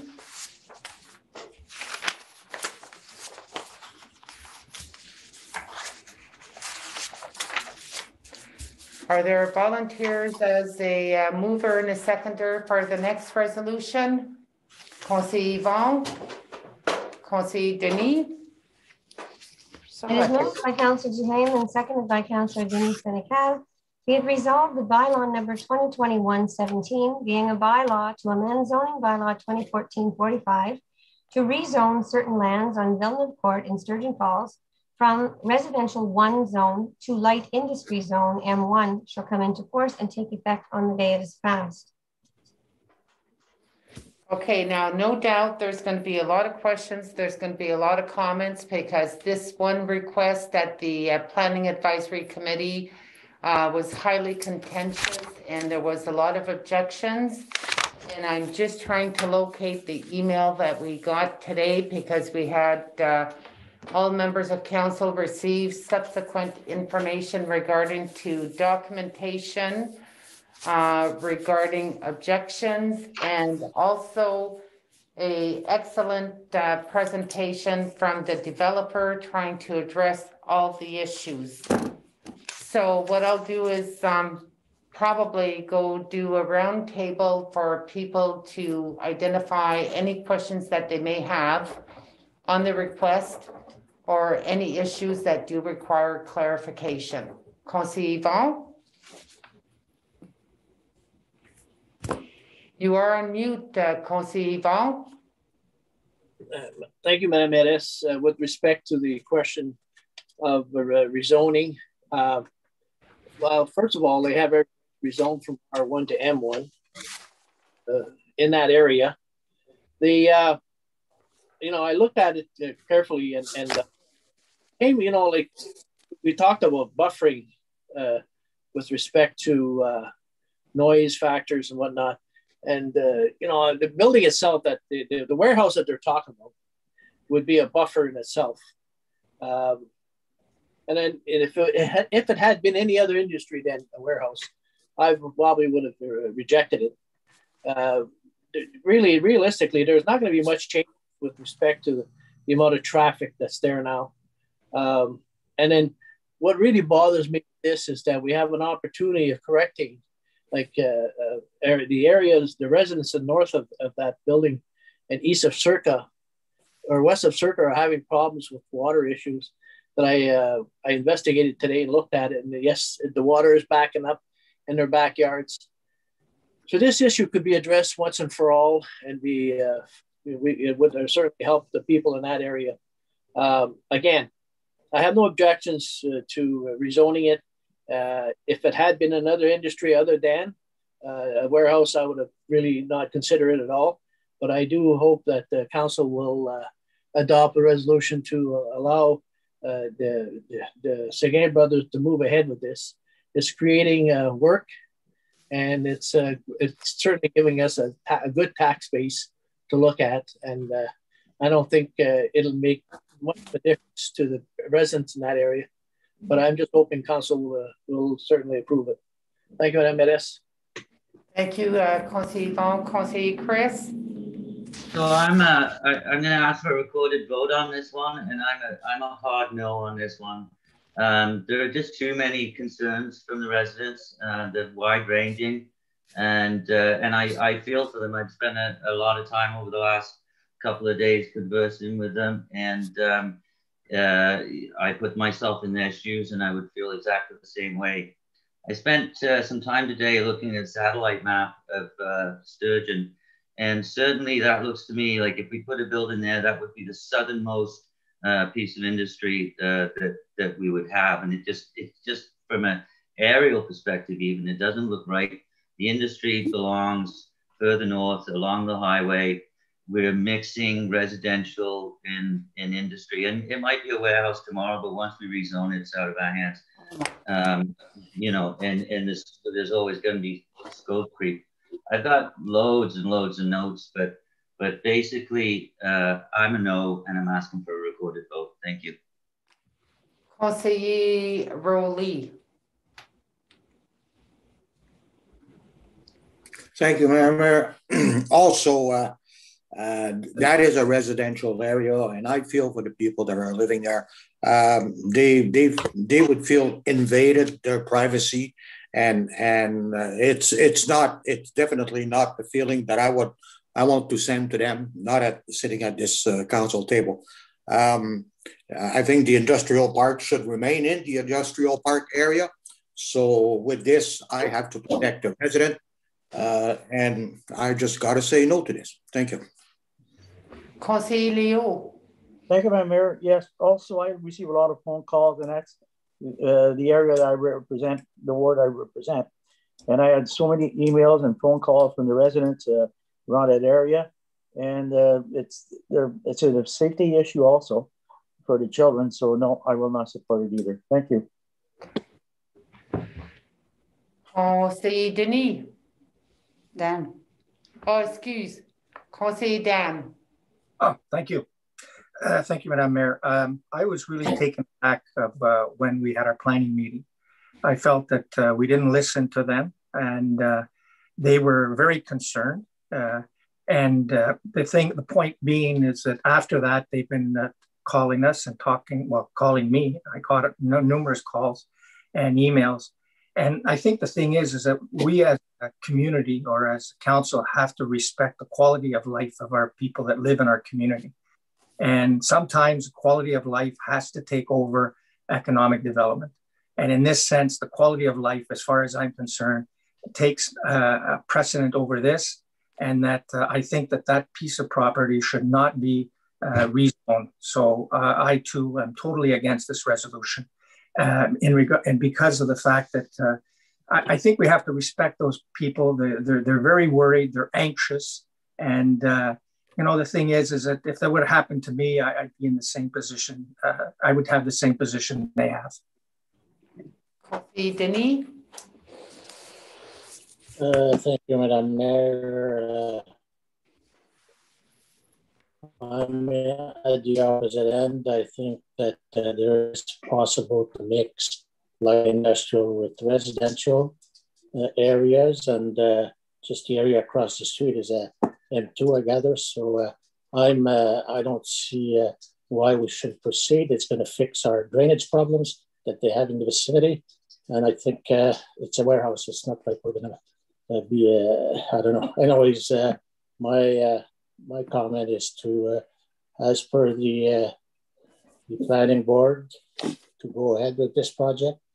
Thank you. Concierge well, I have been receiving phone call. I've been receiving uh, talking to the people that live in that uh, that uh, that street. Uh, I'm not going to name any name. Very good conversation, very long conversation with a couple of them. I do understand how they feel. And I mean, uh, I've been part so many times that uh, objection from people to want to have some uh, type of building in their residential area. We just live one in Verner with what they want to build in the close to uh, to Verner. So this is something that is very normal. I, I, I live in a place that my backyard's going to have at least 44 new building at some point of time. I don't know. Like I said, I'm retired. I don't have a bunch of children playing in my yard. Then, but I knew when I bought that it was there. No, it's true.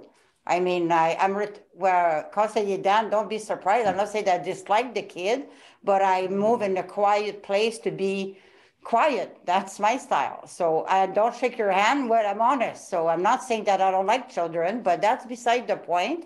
But I know I know what I was getting myself. I know they were a subdivision. I moved there. I take the risk. And whatever happened, it's going to happen. And if I don't like it, I'm going to sell my house and go somewhere else. That's as simple as that. Okay. But the reality is, when we look at it, we, we, we talk about it, I don't know how many times. Uh, I mean, we, we're fixing one big problem with the water because after that, it's not the responsibility of the municipality to take over. And I, the, the, the person that bought the lot did what he had to do with his lot. So at this point of time, there's going to remain something unsolved if we don't do something. But most of all, if you go, I, I, I was looking at the presentation and I'm, I'm at page six, and it is an industrial park. What do you expect? And the, the it's been done, approved by council in 2011, that plan. I think, what do you call it again? That, uh, the plan, Official plan. the official plan. So they're surrounded by M1, they're surrounded by M2. So what is M2, Mel? M1, I know what it is. What is M2? Heavy industry, a little bit more Okay. expensive. And there's across the street following uh, uh, Villeneuve Street, it's M2. So what we're saying tonight, if we refuse that, that during our term anyways, we will not approve nothing. And it's an industrial part. It's part of a municipal um, uh, plan. I, I don't get it. I, I do get the people, I feel for them, but the kind of, of thing they're building, the buffing, they're, they're looking at everything and it's been taken care. So I, I really don't get it because we, we, we, we accept it and then we have a planning board and we're talking about respect. Uh, we, we have a planning board that made a decision. We have a planning person that recommend the, the, the zoning based on what she have and what we can do. And so what else? Like uh, we, we're going back and forth, changing our mind at council, going at planning board, they approving it, coming back. And yes, I can understand the people. I feel for those people, but I, I think they, they are concerned, but I don't think they will be affecting them that much because uh, it's not like a big operation. The the the the work's going to be inside. There's going to be a little bit more truck trucking, obviously. But I mean, it's going to be happening during the day. It's not going to be uh, during the day. So at night, uh, we have uh, some people comment that they had problem with uh, with uh, the noise, a problem with uh, the driving. Well, we have Bio to protect, and we have OPP to uh, to they can call if there's uh, speeding or something like that. And this is a company also that you need to remember safety is very very high because if they have ticket, if they don't respect something, they pay fine. They, they, you know, and they have uh, the insurance goes up because it, it's work with the number of uh, infraction or something like that.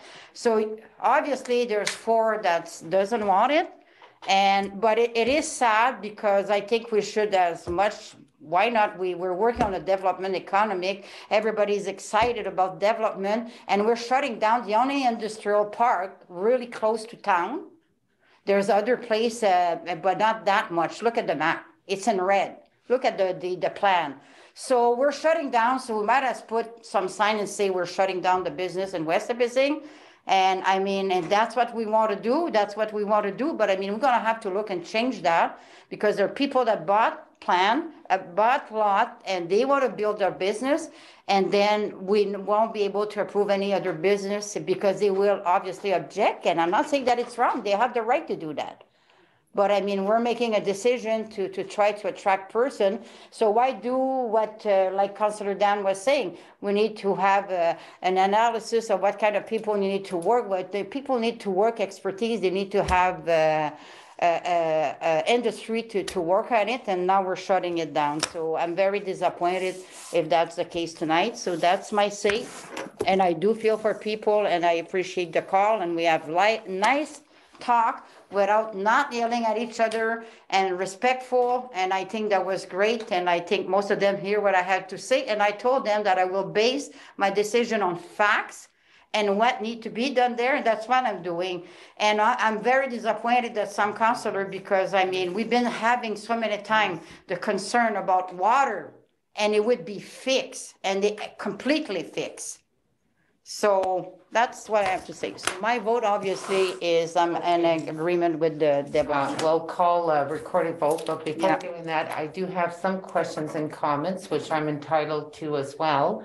I just want to ask a question to the clerk, because I've been hearing a lot of rumbling that the, uh, the lot adjacent to the building, puis je que le public sache, c'est qu'on parle de l'ancien édifice de Cisco, where the old Cisco business was.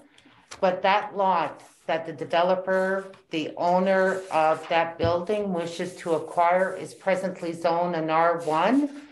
Was that an error in our official plan to have zoned that as an R1 instead of an M1 or M2? I, uh, through you, I, I don't know. Uh, the official plan was completed before I came here, and that section was already designated as employment. So I, I really honestly can't speak to what the rationale was. Um, it was when the zoning bylaw was done, um, it was matched to its use um, and being adjacent to residential, it was designated as residential uh, because that's what it was uh, sitting next to. Okay, but it was designated for employment, right? In the official plan, yes. Okay, so that lot was designated for employment. Um, at the planning board, um, individuals that had concerns or had objections or complaints had the opportunity to voice what were their concerns. And I'm really happy that the developer listened to those concerns. And the assurance that was provided to address those concerns was making sure that if the rezoning was approved, that there would also be a site control plan. And that site control plan would be a legal document that would be registered on the deed of the property. And that the municipality would prescribe and have a say in the layout of the warehouse, would have a say pertaining to the buffer, and would also have a say in remedial work that is required to address the water issue. And that was the initial water issue that Conseil Leo brought forward because he had received a phone call and conducted a visit at the residence location behind that building, which is behind the building located on Bay Street. And Conseil Leo was provided photos of the water problem and had shared it with the clerk. And there were also site visits that were done by our administration, or I believe our public work manager and our CEO. Right now, as is, um, there's no water problem that will be rectified if the zoning is not changed because there will not be a site control. So Conseiller Leo, if you do receive a further phone call from the neighbor located behind the building, and if they have water issues, I guess you'll have to notify that resident that it's gonna have to be a civil issue. A civil issue between the developer and the landowner. It was really emphasized at the planning board that this site control plan would provide the mechanism for the municipality to do something to ensure that there would be remedial work to fix the water. If it's not rezoned, the municipality cannot do nothing to intervene. It will be definitely a civil issue between the two landowners. And honestly, we own that parcel, and I don't think anyone wants to build a home, a, a beautiful home adjacent to this humongous building uh, where they are conducting a business operation. I would doubt that. So what we're doing is we're basically probably landlocking any opportunity of selling this parcel of land and capturing additional taxes. So to me, uh, based on the information provided at the planning board and the summary and recommendation, it conforms to our official plan to rezone it from an R1 to an M1 and that the property would be placed under site plan control, which would be a legal document registered on the deed. So I would support it because the site control plan addresses the issue that were identified as concerns by the residents that reside in the area. It addressed the issue of the buffer property that the municipality would retain, addressed the issue for noise, and fixed the water problem, and at the same time create employment. So I think I've had my say, which those are the reasons I would support the request. And if there's any further questions, well, it's the time, because if there's none, then there's going to be a recorded vote. Conseiller Broley?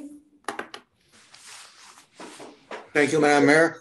You, you just stated it, that nobody would want to build a home next to a warehouse. That's, that's exactly what we're doing. Okay. Well, no, that's not exactly what we're doing. Right now, the request is to be able for the owner operator of the building who wanted to expand on a warehousing facility, which would be two extra transports per day. It's a warehouse facility, not a large industrial company. Um, and across the street, it's zoned an M2, and that M2 could be developed for heavier industry. Madam Mayor? Conseil Okay, and uh, so I don't know why we're not uh, going to be looking and changing everything because there will be no industry there, right? Because they all surrounded by that. Mel, I asked you example of the M2 that can be built. I think, I, I'm sorry, I did not ask you. I wanted to ask you if you can give me an example. In an M2 zone? An M2 zone. Um, just about any sort of industrial use, crematorium, contractors' yards, uh, abattoir. Um, uh, I could list them off. There's quite a number of uses in there building supplies, motor vehicle repairs, transportation depots, waste disposal. No, I'm sorry, not waste disposal.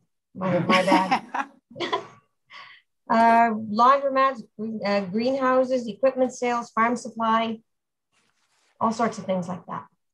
Okay, so so that's what I'm saying. We're gonna have to look at that because there's already a lot that's been sold, and we know there are a couple from the business. But I mean, this is this is really, really, really sad. So let's go and record a vote, I guess.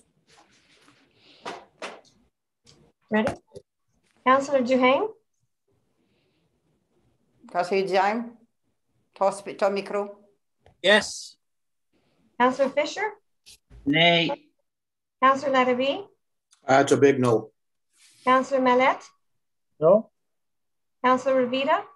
For the people that live around there, no. Councillor Denise Senecal? Big yes. Councillor Lee Senecal? For the people of West Nipissing and for the industrial park, I say yes, and I feel bad for the other people, but we cannot please everybody, and I'm sorry for that. So it's a big yes for me. Mayor Savage? Um, am I allowed to ask a question before proceeding Bam, to stating my vote? I forgot to ask something. Or I can ask after my vote. Okay, uh, I say yes. It's defeated. Okay, Now, if I may, uh, Melanie, can I just ask my question? And uh, it's your line of expertise. Now that, um, you know what, the proponent that wanted to develop the land, since there was an offer um, to purchase it with a condition, if uh, this goes to the planning board of appeal pertaining to being denied the request, uh, when they go to planning board of appeals, do they go according to land-based usage according to our official plan? Uh, first of all, the, this council would probably have to give authority for the appeal because we do own the land. Um, the municipality owns the land and the municipality had authorized the uh, prospective purchaser to make the application. I believe the municipality would also have authorized um, the applicant to make an appeal if they so wish to do. Um, that said, yes, the land use issues are all looked at uh, by the LPAT, uh, not just how it's designated, but everything in total. Okay, thank you.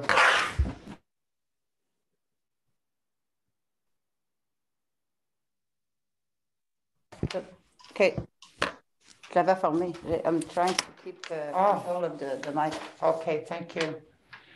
So now we move on to correspondence and account. Is there a volunteer to move into second? Uh, Conseil Yvon, Conseil Elise, It is moved by Councillor Duhaime and seconded by Councillor Lise Senecal. Be it resolved that the minutes of the budget meeting held on March the 1st, 2021 be adopted as presented.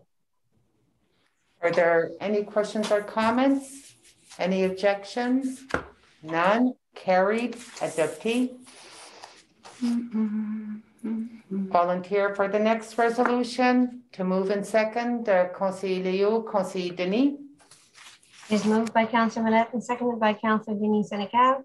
Be it resolved that the minutes of the meeting of council held on March the 2nd, 2021 be adopted as presented. Are there any questions or comments? None? Any objections? No? Carried? Adoptee? For the next resolution, Conseil Yvon, Conseil Denis. It is moved by Councillor Duhaime and seconded by Councillor Denis Senecal. Be it resolved that the minutes of the budget meeting held on March the 3rd, 2021 be adopted as presented. Any questions, comments? None? Any objections? None? Carried? Adoptee?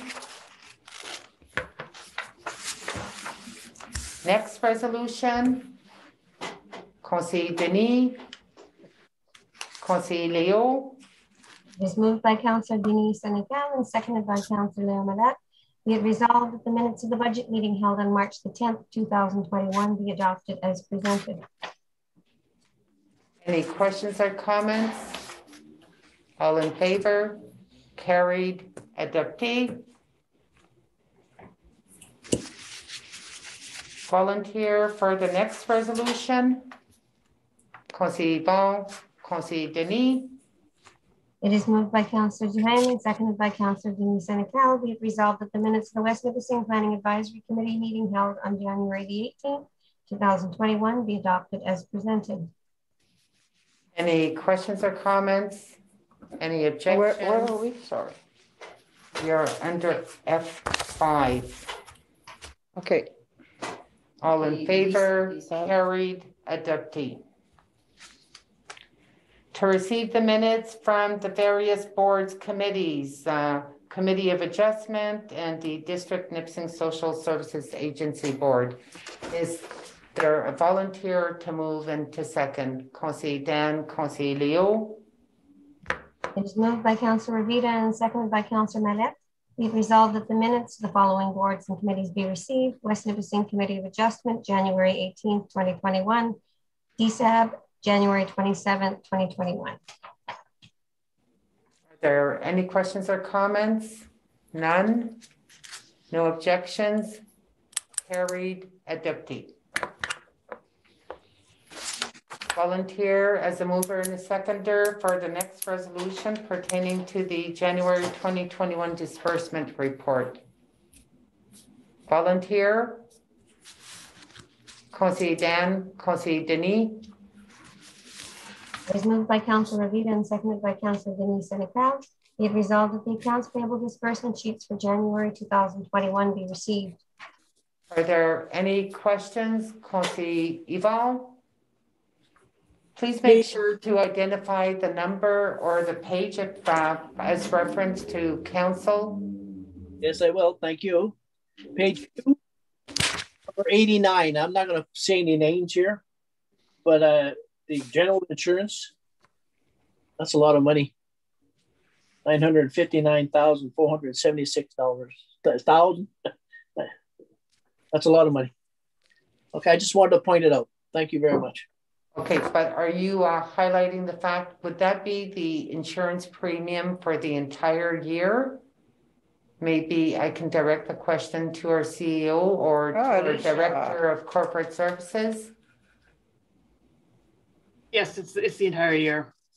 for the entire year. Okay, thank you. Could I ask, I had a, Okay.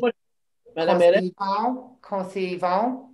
Uh, uh, if I may ask Alyssa, how much more is that than previous years?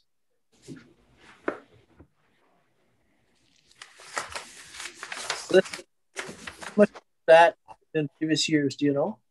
Yeah, just one second and I've got the number for you. Okay. It was, it was a big increase, absolutely.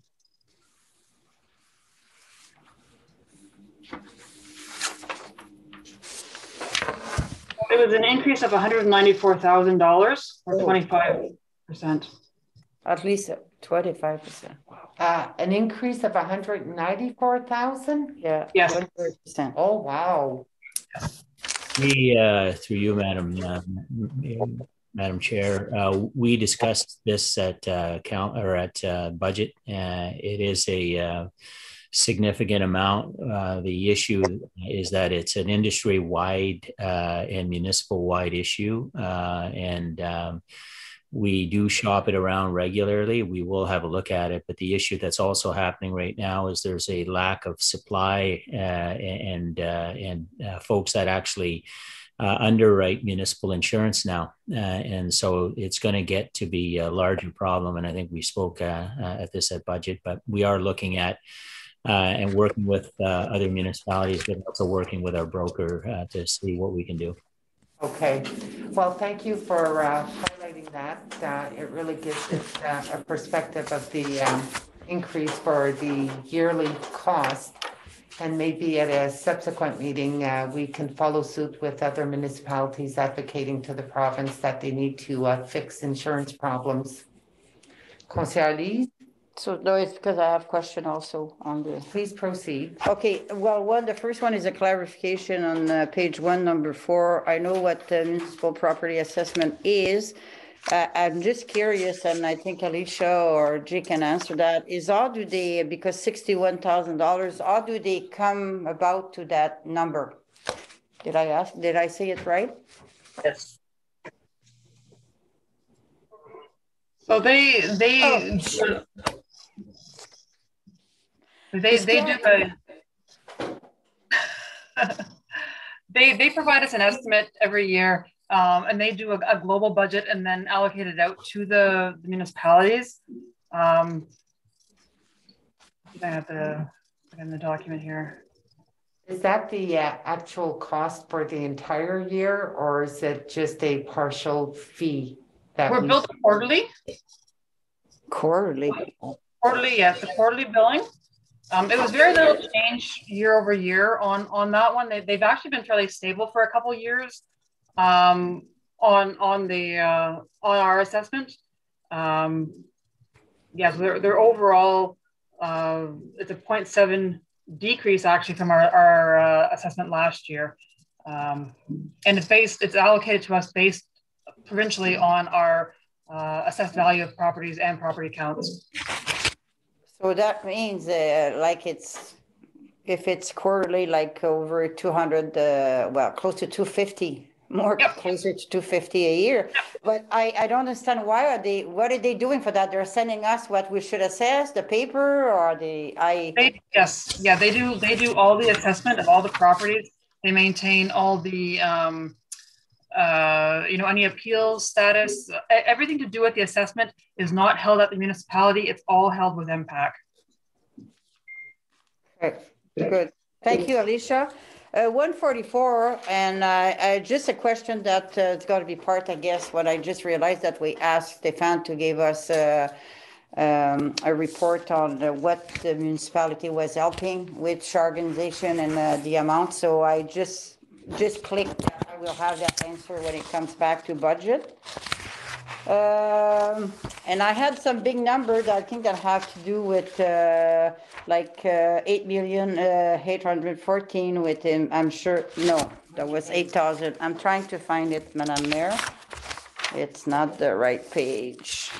Oh, well, if I don't find it, then not a big deal, but I'm pretty sure it was for the police station. Again, we gotta have a, uh, uh, a report on that, so it's okay, I'm okay with that. Can I be excused for thirty seconds? Yes. Are there any other further questions or comments uh, pertaining to anything on the disbursement sheets? Okay. I just noticed um, when I did the total of uh, what were the legal costs for the month of January, as far as disbursements in January, I'm not sure that these were um, um, due to um, opinions obtained in the month of January. It could be the billing. But there's uh, at least over eleven thousand pertaining to legal costs. Some could be land transactions, some, some could be legal opinion or legal transactions. Um, I'd be interested in finding out exactly what, um, activities or uh, an activity report pertaining to all the legal costs that, that the municipality is being charged. As I noticed more specifically on page eight, the municipal advisor, the municipal legal advisor that we use was roughly seven thousand. And then there was another one uh, on that same page, two other more. Uh, But that name is normally known when it comes to land issues, which was in excess of forty-five hundred dollars. So on that one page, on page eight, there's more than eleven thousand dollars in legal fees. So I'm not sure if they were due to legal transactions encountered in January, or if it represents more than just the month of January. But, um, Typically, if you get a bill, uh, it would, uh, they're a little bit behind in their billing. Uh, and so that could be a, uh, a roll up of a few, uh, of a few months, but, uh, uh, we can provide you with a report as to the, uh, type of legal, uh, expense that we incur in, a in a kind of a theoretical way as to, human resources assistance. Uh, planning or, or corporate uh, assistance, and then there'd be real estate uh, tr- transactions as well. So we can put that on a general government agenda. okay, thank you, thank you. So that was uh, my only question. Uh, So coming back to the resolution, are there any objections? Aucune objection? None? Carried? Adopté? Okay, now we move on to new business, les affaires nouvelles.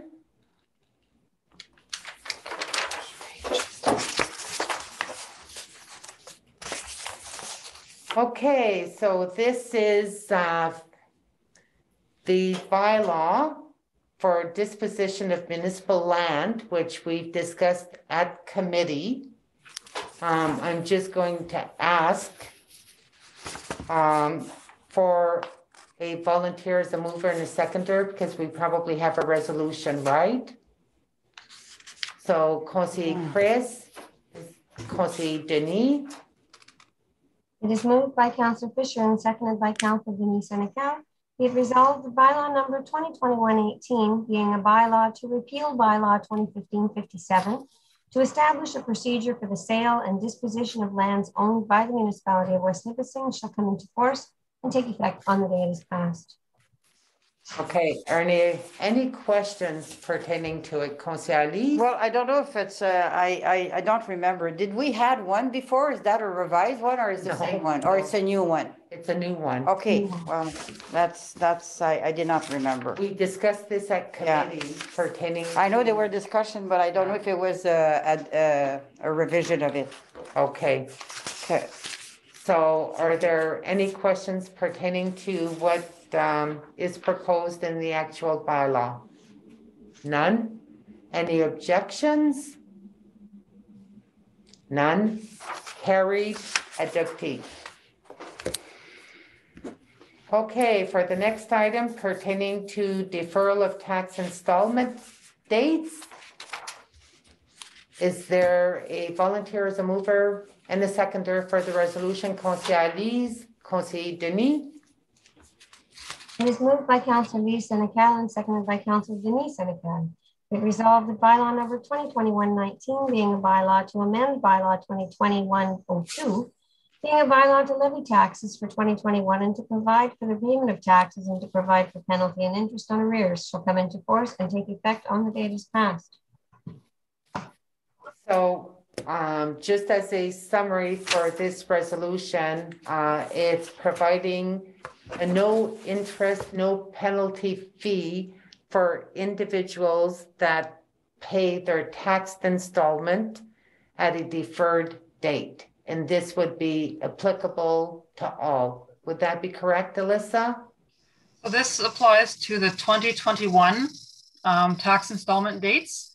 And um, it, yes, it provides that there's no um, penalty and interest if you miss the installment dates. Um, you've got till the end of June, and then interest will start again in July.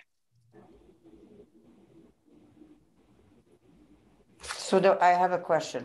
Okay, So for example, let's say that I don't pay my tax, I cannot pay my tax and uh, I get to June and I'm late uh, in July, I, I go and pay it. Will I be charged the interest before or it's not gonna be calculated? Just the one starting in June?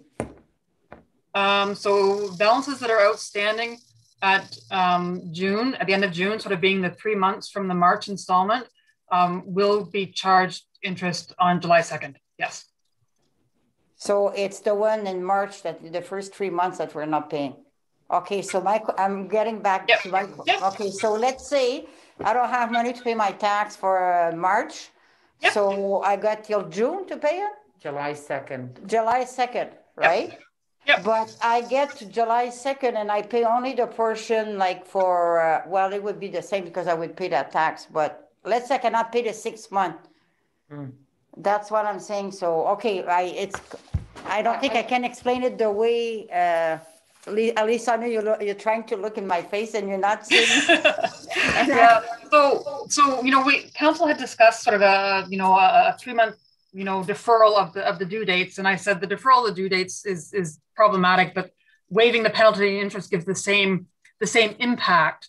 So that's why we've gone to to July. But yes, if you um, get to, to the end of June and you still can't pay your taxes, you are going to have interest start accruing again.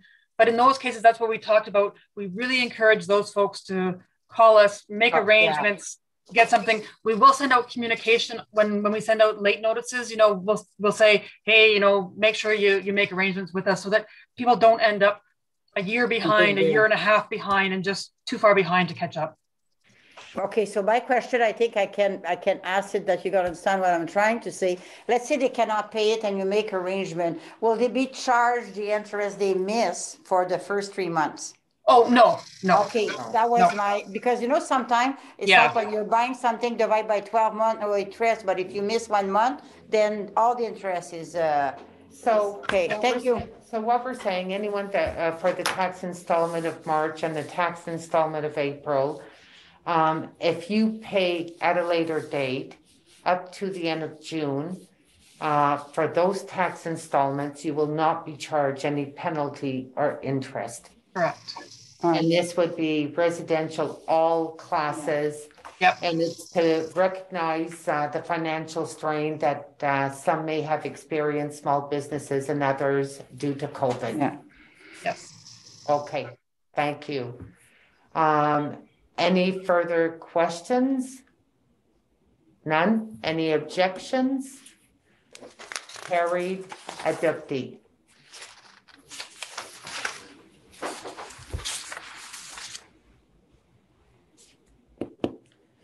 Okay, the next item is uh, the resolution for Freedom of Information Integrity Commissioner report. Um, I don't see our CEO. He's probably live or on the call. Jay, you wrote a memo to mayor and council. Do you want to walk us through that memo? No, it's self-explanatory. Yeah, I know it is self-explanatory, but are there key points that you would love to highlight or highlight? No, I think I made my points. Uh, I uh, I uh, documented it to make sure that uh, my points are uh, are received, uh, and you know, council can debate, question, or or whatever. But um, I don't have any comments to add right now. Okay. Well, I'm going to start it off because I did read the memo, and there's the one thing, the first point that I'd love to highlight, and that I want to highlight. Um, I don't want it to be perceived that at any given time, if anyone does ask any questions on the subject matter or service, that um, it's um, diminishing the integrity or the professionalism of the employee. Because I will put it on record that I truly appreciate and admire the dedication and the professionalism of our clerk. And it doesn't prevail anyone from asking questions to have a good understanding. So my I'm, point on that, if you do want me to comment, then my point on that, your worship. Uh, let me finish, uh, Jay. Oh, okay. Um, I offered you the opportunity and I just wanted to highlight that, and I'm confident that probably all members of council would echo that comment. Now, when I completed the form, uh, yeah, there were some nuance and issues that surfaced pertaining to freedom of information. And I think as elected official, we do have the right to obtain information and uh, having clarity. And I felt that there was nuance. Nuance because there had been freedom of information requests in the past done by some members of council, and they had been provided a written notification that uh, unfortunately the records do not exist. Then you subsequently have an outsider that submits two requests for freedom of information, and those reports did not exist either. So to me, it was nuance. And I did ask by submitting the agenda form to get an understanding of the process, the administration, um, the reporting, how it works, and the legislation, and the information to members of council and commissioner, and so on. So, you know what? It shouldn't be perceived to be construed negatively. And I think uh, I'll ask the question if it is perceived to be negatively to to be perceived negative because one is seeking to have an understanding of a service that's being provided well then where do you ask the question when the issue is in the public forum? Um did is that a question to me? Well i'm directing the question because i'm a seeking right. are we just not to just go with the flow not ask question? And if you ask question then you're being accused that you're being sabotaging or criticizing or pointing the finger of uh, any employee working for this organization? Well, uh, okay, no, actually, uh, you have you certainly have a right to uh, ask questions. Uh, the memo, then, uh, if you indicates that if you had, you, you, seem to have, you know, pivoted very, very quickly in in terms of going to a specific issue. And my point is, is if you're going to make an agenda request to have people, because that involved a few people, uh, that you asked for a generality and you didn't ask for the specifics of a file, and then you raised one issue with a file, you didn't raise others. My second point on that memo was, and where where you seem to be getting ready for that, uh, despite and because and despite asking the clerk, who's the head of FOI, what her rationale was, and it could have been done. And uh, but you chose to um, uh, get your own advice. Not sure what kind of question you were asking uh, to the uh, information commissioner uh, to get a response. Of course, uh, if there's personal information about a counselor's, uh, and, which is grounds for exclusion, of course, that has to be not uh, given or, or that has to be shared with, with the counselor. Um, I, they, I renew the advice that the, that the uh, lawyer gave with respect to the counselors are in the public domain and don't have that same uh, that same privilege. So that those were my two points. Were uh, the fact that it seemed like uh, there's a guise to ask for something at council and it became something else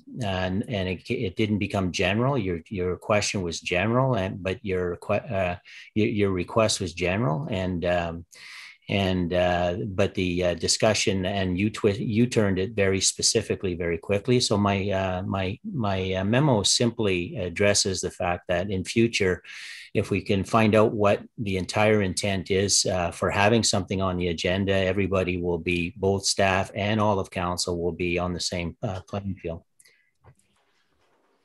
Okay, well, thank you for uh, clarifying that. But uh, if there were questions to the request of the agenda form, there was ample time to even uh, notify me or seek additional information.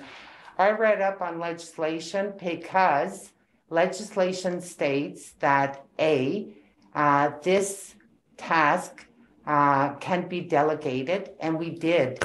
And it was delegated years back. So the head and council delegated this uh, freedom of information internally to an employee. And of course, uh, reading up in the local newspaper, there were also comments by one of the elected official saying that he wanted the entire issue of the freedom of information on the agenda. So you know what? I submitted the request. There was appetite by other members of council to have it on the agenda.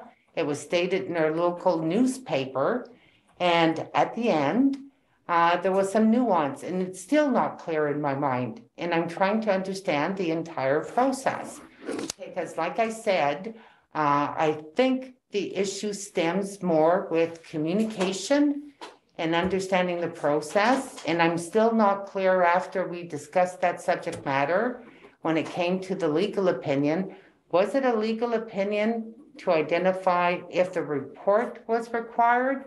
Or was it a legal opinion identifying that there was no need to notify members of council? I believe the legal opinion was uh, on uh, notification of the members of council. Melanie?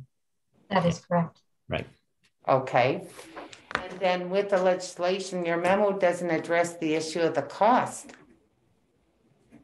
because the release of the reports, these reports did not exist. And to generate these reports, there were costs to generate those reports. So who pays for the reports? And would it be the requester that's responsible for? The requester is responsible.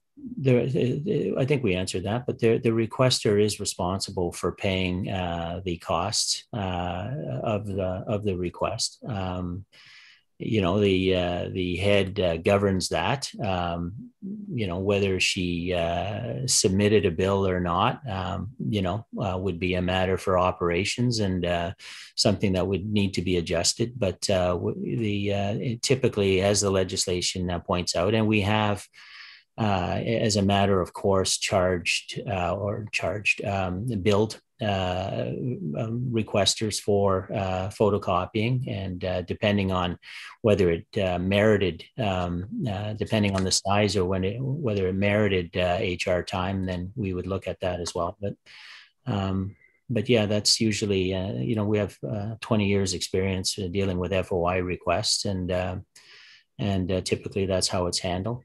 Okay, well, thank you because. I don't think at our last meeting that um, that information uh, was. I'm glad um, I didn't. Mm-hmm. It wasn't uh, detailed as uh, what you are identifying right now. So the requester is going to be liable in paying for the two reports that were generated. Okay, thank you. So Conseiller Lise, Conseiller Chris. Well, I mean, uh, he answered that question, but I would like to know because that report was not done, it had to be redone, and it was quite extensive. I mean, I don't know how many pages of the paper to, to put it there. I, I do have a concern because it went public. It went public, and I think just even if the law, and I don't think, I think we have the right to know, but it would have been just some counselor obviously were advised that they were existing because they commented in the the the for, on the in the paper. And i think the mayor was asked uh, the day before you responded you requested to see if you didn't even know what we were ta- were talking about. So the So- fact remained uh, uh, jake and i i don't want to start a debate just saying that you said your say on the the memo and uh, at, at no point of time, also, I, I would like to, uh, to say that I think Mel, uh, I can commend me, I don't know if she does it because she had to keep her calm and really the, the, the position she have. So my question to you, Jay, because we're talking about legal fee, they will be responsible, but is anybody can get legal advice or they have to be channeled through you? Because at some point of time when we, we talk, we need to CC you on everything. So, and we're counselor, obviously, but is staff, you- they can, can Mel or Alicia or Stefan or uh, Sean can call the lawyer, they feel like it? Uh, General question. Yeah, and there a lot of small questions like that that go to lawyers are not built uh, for us. Uh, you know, they're kind of on retainer, but general question is no. Uh, uh, staff uh, are not in the habit of uh, calling lawyers. Melanie has a legal position in the municipality, and she has a certain amount of leeway, you know, to confirm that her legal positions are accurate. Um, she, you know, uh, because the uh, the alternative is worse than uh, not getting advice. And uh, and so you know, uh, I would suggest to you that uh, there isn't anybody that would contact a lawyer uh, directly without uh, going through me. Uh, or unless it's a small matter, Melanie, uh, Melanie or Elisa, uh, as the assistant uh, CAO, uh, off, uh, can, but that's usually rare. It usually goes through me. Okay, so just to clarify, so if we get to get angry at somebody, we know that you give permission. No, I think you should get angry at me because I work, joking. not uh, not the rest of my staff. That's that's the point I guess I'm making. Yeah. Well, the thing is, it's good to clarify that the staff is not really responsible in the matter when it's legal because they got permission from you. They're, they're doing their job.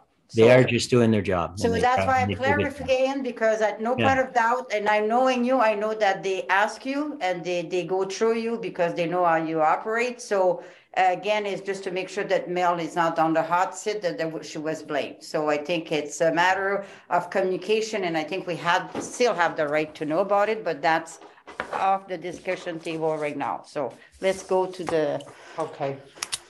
So are there any questions or comments pertaining to this issue? Conseiller Chris?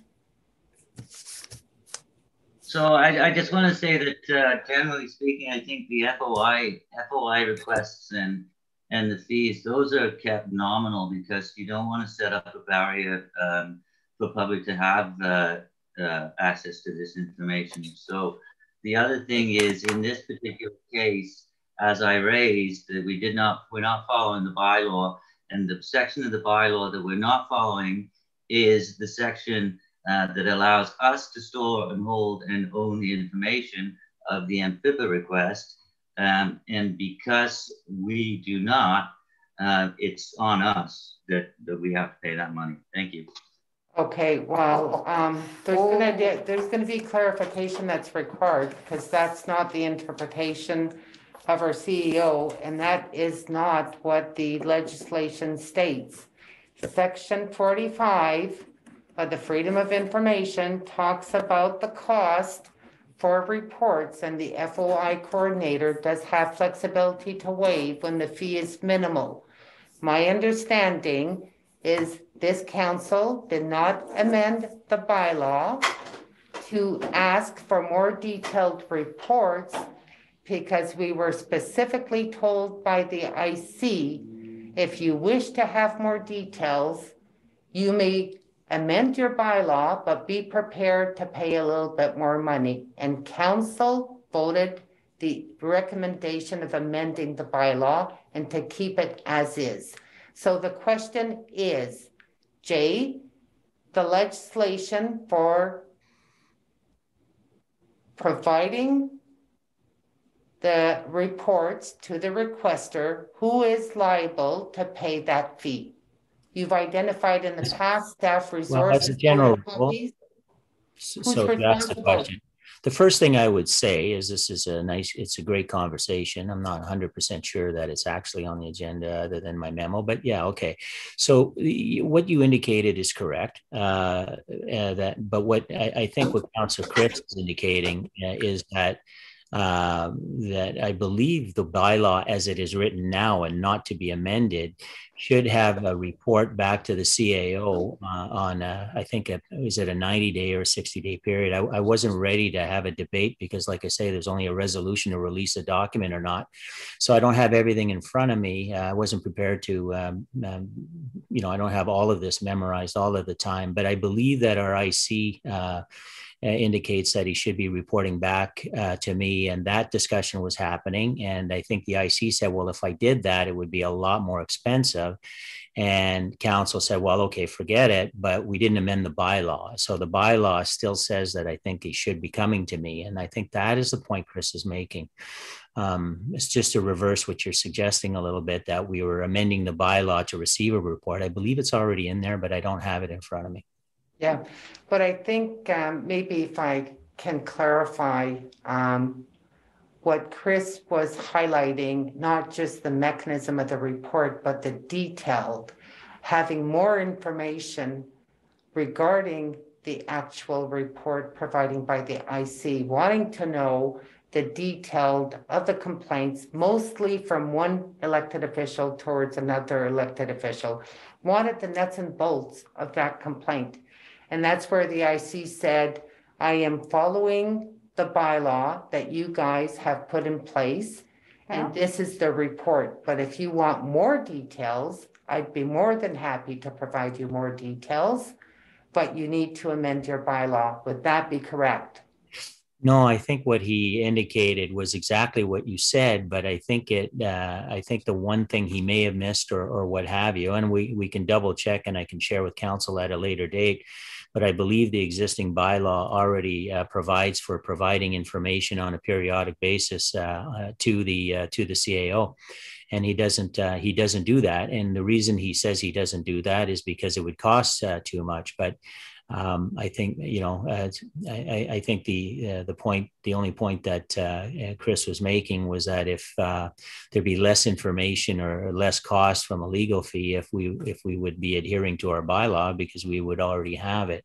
With respect to how uh, other counselors may or may not know, I mean uh, that reporter would probably be contacting counselors, and so certainly there's no inequity from the staff's part of having shared anything to one counselor counselor and not to others. Um, uh, I know Melanie uh, could confirm right now that she did not. So if uh, the Tribune reporter contacted individual um, uh, counselors, it, uh, I'm going to assume it's because their names were in the report and they were asked for a comment, but it certainly wasn't us that shared it. Melanie, you didn't share anything, did you? No. And I don't think the question is uh, any accusation that their No. Freedom of Information coordinators shared their report to some members of council and not the others. I think my main concern was that when there's disclosure that concerns council pertaining to council decision, there should be a mechanism of communication and no need to find out from the outside world when we are part of the corporation and we should be duly informed. And I think that's one of the provision that I made reference to the legislation. And I would just go throughout this process that there'd be some consideration of adopting this process. Conseiller Dan? Uh, I just wanted to elaborate, and I take exception to Councillor Lee's comment that I had prior knowledge. If you saw the Oh, article. no, no, no, no, don't article- put words in No, my no, mouth. no, no, no, no, it's my, let me speak, please. I take exception to the comment that you made that I had prior knowledge. when the reporter called me, she asked, she referenced the complaints that were made against me and the complaint that I made against somebody. That was it. And she asked my comments about that. Do not put, do not, I take exception to that because you're inferring that I had information before. I don't want a response from you, man, uh, Councillor Lees. Well, I'm gonna, I got the right to, to respond to that, okay? Because this is not what I said. I said, you find out e- one way, I never said that you had discussion about it. You knew about it, Chris knew about it before we all know, and, and please, please don't try to tell me that it was a big secret because it was not a big secret, okay? So if you, the hat fit that you had prior things on it, well, wear it. But I did not say that. I said you find out because you did some comment on it, so you knew about it, and Chris knew about it. So that's the only thing I said. Thank No, you. I, I, Okay. Madam Chair, I take exception to that You because that's it. outright not true. And the point is, is that when the reporter asked my comments, it was in reference to complaints that were made against me that I was fully aware of and complaints that were made, made by me. So previous information? No, I think I, ta- I take, I, t- I take exception to that. Are you So- agree with word? You know what?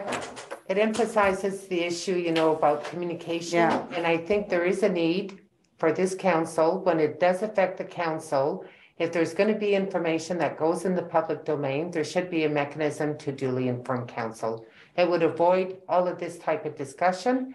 And that's part about uh, being in an open, transparent, and making sure that everyone's on the same page. Councillor Chris? Uh, Can I be excused, Madam Mayor? Yes. I will go to- Councillor Chris? So I just uh, like basically uh, go back to the beginning here. We, we're we're kind of public property, and uh, there is not a lot we do and document that is not in the public domain. So you should just live and expect that. You know, the next thing will be all the complaints and the responses, and those will go in the public domain. We are public animals. We, we, you know when we when we put our names forward to represent the people, uh, we kind of you know, as horrible as it seems sometimes, but we've got big targets on our back and we just have to live with it. So, to my mind, it's all public. Thank you. Okay, well, you are entitled to uh, your opinion, and I don't think that we're public animals, and I know that it's an expression. But uh, you know what? Uh, At the same time, when there's going to be public funds and utilization and services uh, that affects members of council, I think that there should be communication. And I would hope that uh, at a later date, if there would be something similar to this nature, that uh, we would have the opportunity to be duly informed, not to debate the decision, but to be duly informed. And I think that's one of the issues that I had questioned pertaining to process. So on that note, Conseil Rowley, Ma- Mayor, you're saying about communication, but with this, the way I've seen this council work since the beginning of this mandate, it's uh, it's all divisiveness. So you're it doesn't make sense. Doesn't make sense. Everybody needs an attitude change. Thank you. well, you know what? I'm not going to debate the issue about, uh, you know, the working report. Point of order, and um, The eight people here. So that's it. Point of Conseil order. Dan, what's your point of order? My point of order is that you've gotten off the topic. You're completely off the topic. And the point is, is that you got your answer from the memo. I think we should move forward. Thank you. Your point of order should be uh, directed towards Conseil Rowley for getting off topic and not focusing on the freedom of information. No, the point of order is uh, against you. So, Mike. um, well, the point of order, I was responding to a counselor, you're right. The issue about the working report is not part of the freedom of information. Okay so based on that, um, that covers the memo, but A, wanted to highlight that in no way, shape or form that it had to do with anything pertaining to the integrity and the professionalism of our Freedom of Information clerk. It had to do with having a better comprehension and understanding of the entire process and dealing with requests that involve council and communication and fees. Okay? So based, uh, if we follow to line with our agenda, there's two resolutions. And I think uh, the two resolution, one was um, obtaining the documentation pertaining to the legal opinion of uh, not being obliged to share this information to council. And there's a resolution in regards to that. Is there a volunteer as a mover and a seconder? Conseil Yvon, Conseil Elise, It is moved by Councillor Duhaime and seconded by Councillor Lise Senecal. Be it resolved that the municipal legal opinion received regarding the municipal freedom of information and protection of privacy request be made public. Can I have a recorded vote? Sorry, forgot to ask. Councillor Duhaime,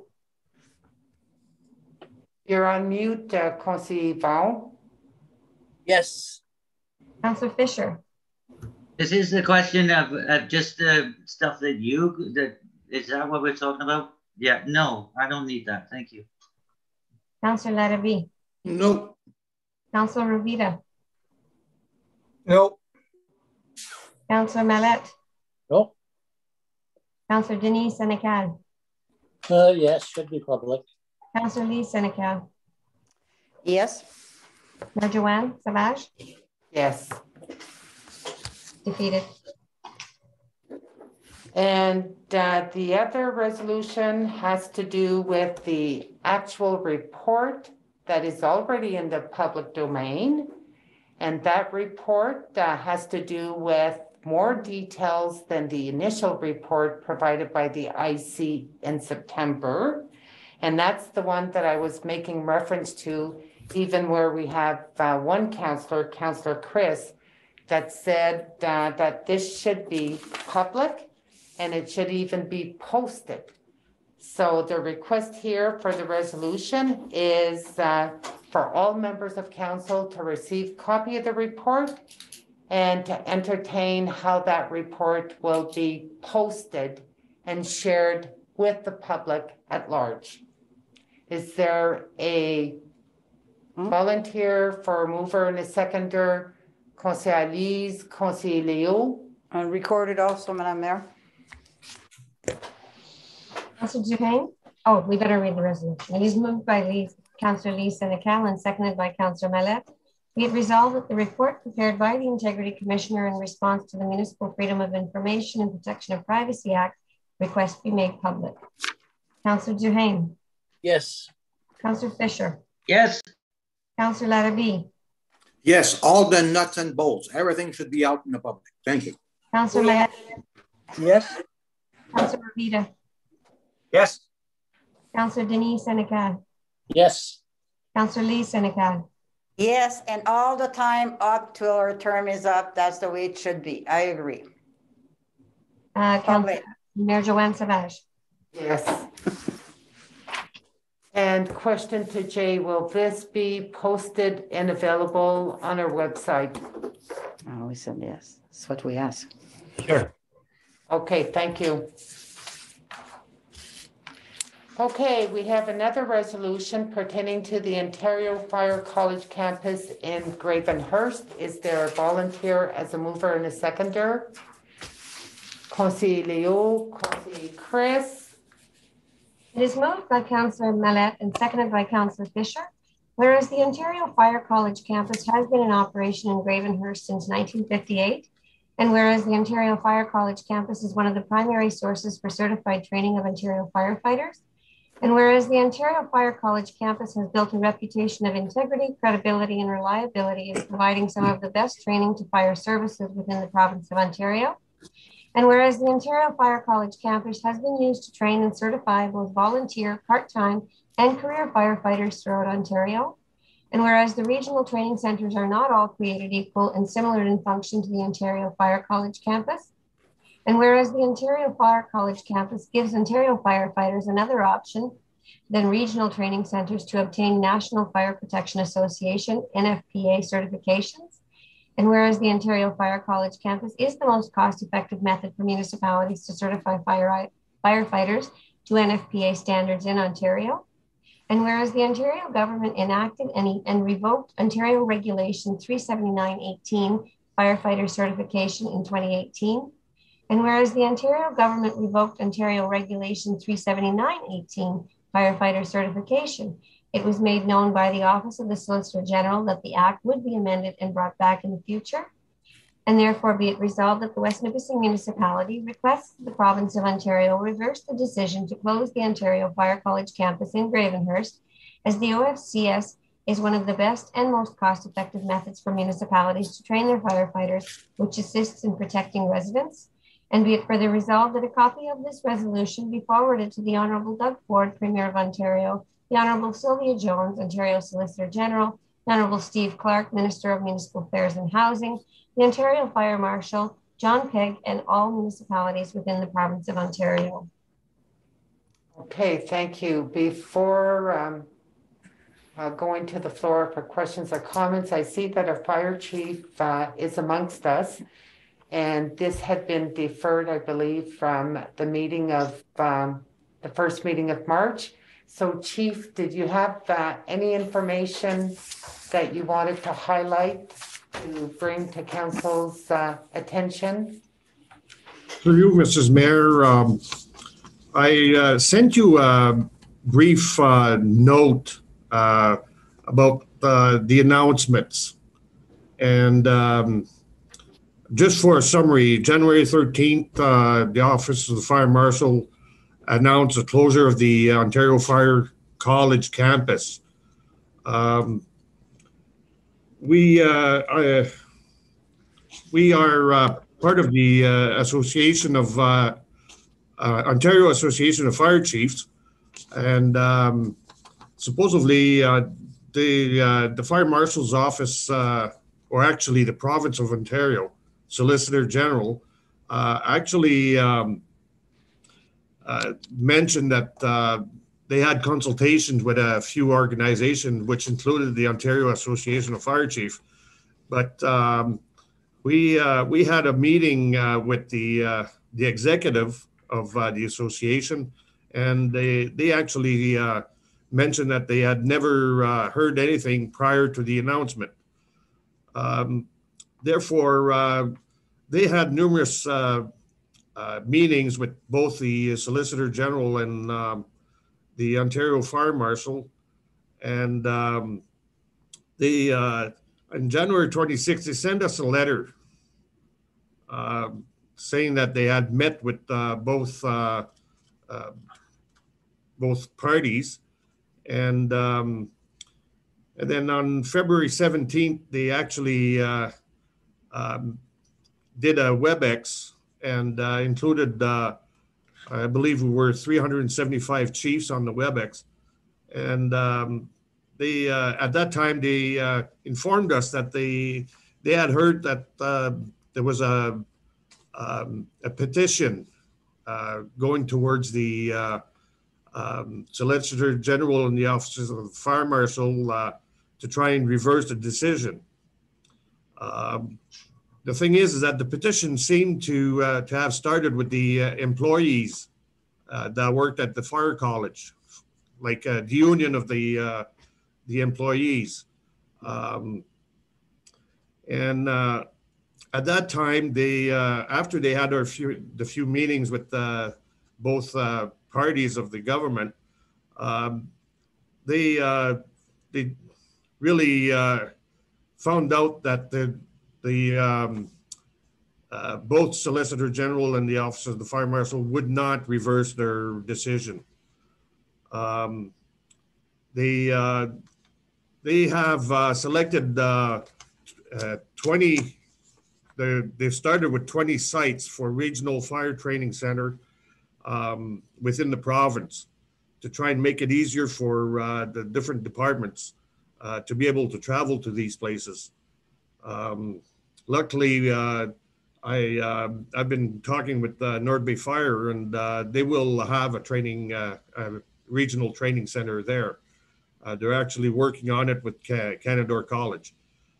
Um, so um, at that time, the Association of Fire Chief uh, said that they would not spend any resources trying to get that decision reversed, but instead tried to work with the both parties to uh, make it easier for uh, fire departments or municipal fire departments to uh, get access to training and uh, facilities and uh, trying to make it as uh, affordable as possible for for the municipalities. Um, the, the courses that the fire college was delivering cost $65 per course per uh, firefighter. That was that included the uh, lodging and uh, and the food. Uh, so uh, complete acco- accommodation throughout the the course. Um, unfortunately, all their courses were during the week, making it very hard for a volunteer firefighter to be able to attend to these courses. Um, just want to let you know that uh, the uh, the training we're giving our firefighters here in West Nipissing uh, is the same curriculum that the Ontario Fire College is delivering right now. Uh, the only uh, diff- big difference is that we don't have the facility to do the hands-on training. So we basically make shift our uh, hands-on training. Uh, the uh, brighter side of the story of the whole the whole thing here is that um, with the regional training center in North Bay, um, we've been in contact with both the chief and the uh, training officer, and they they were saying that they were going to be working really really hard to try to accom- uh, accommodate us, uh, and uh, meaning that um, they they would make the training center available to us uh, on weekends or uh, whenever we uh, we would be able to uh, to attend with uh, some firefighters to do the hands-on. Um, the instructors at the fire college uh, are still going to be employed. Um, they'll they'll be uh, working on the different training development.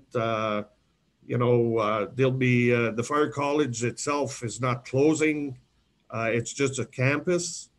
Um, the um, registration, they'll take care of all the registrations. Uh, I'm uh, actually uh, in the works to trying to make uh, uh, what they call it uh, a learning contract with the fire college to for them to supply us with the different documents and the curriculum that the that we're lacking part of, and um, so and then uh, they'll have uh, adjunct uh, instructors coming to evaluate our firefighters at the training centers and actually certifying our firefighters to the NFPA standard.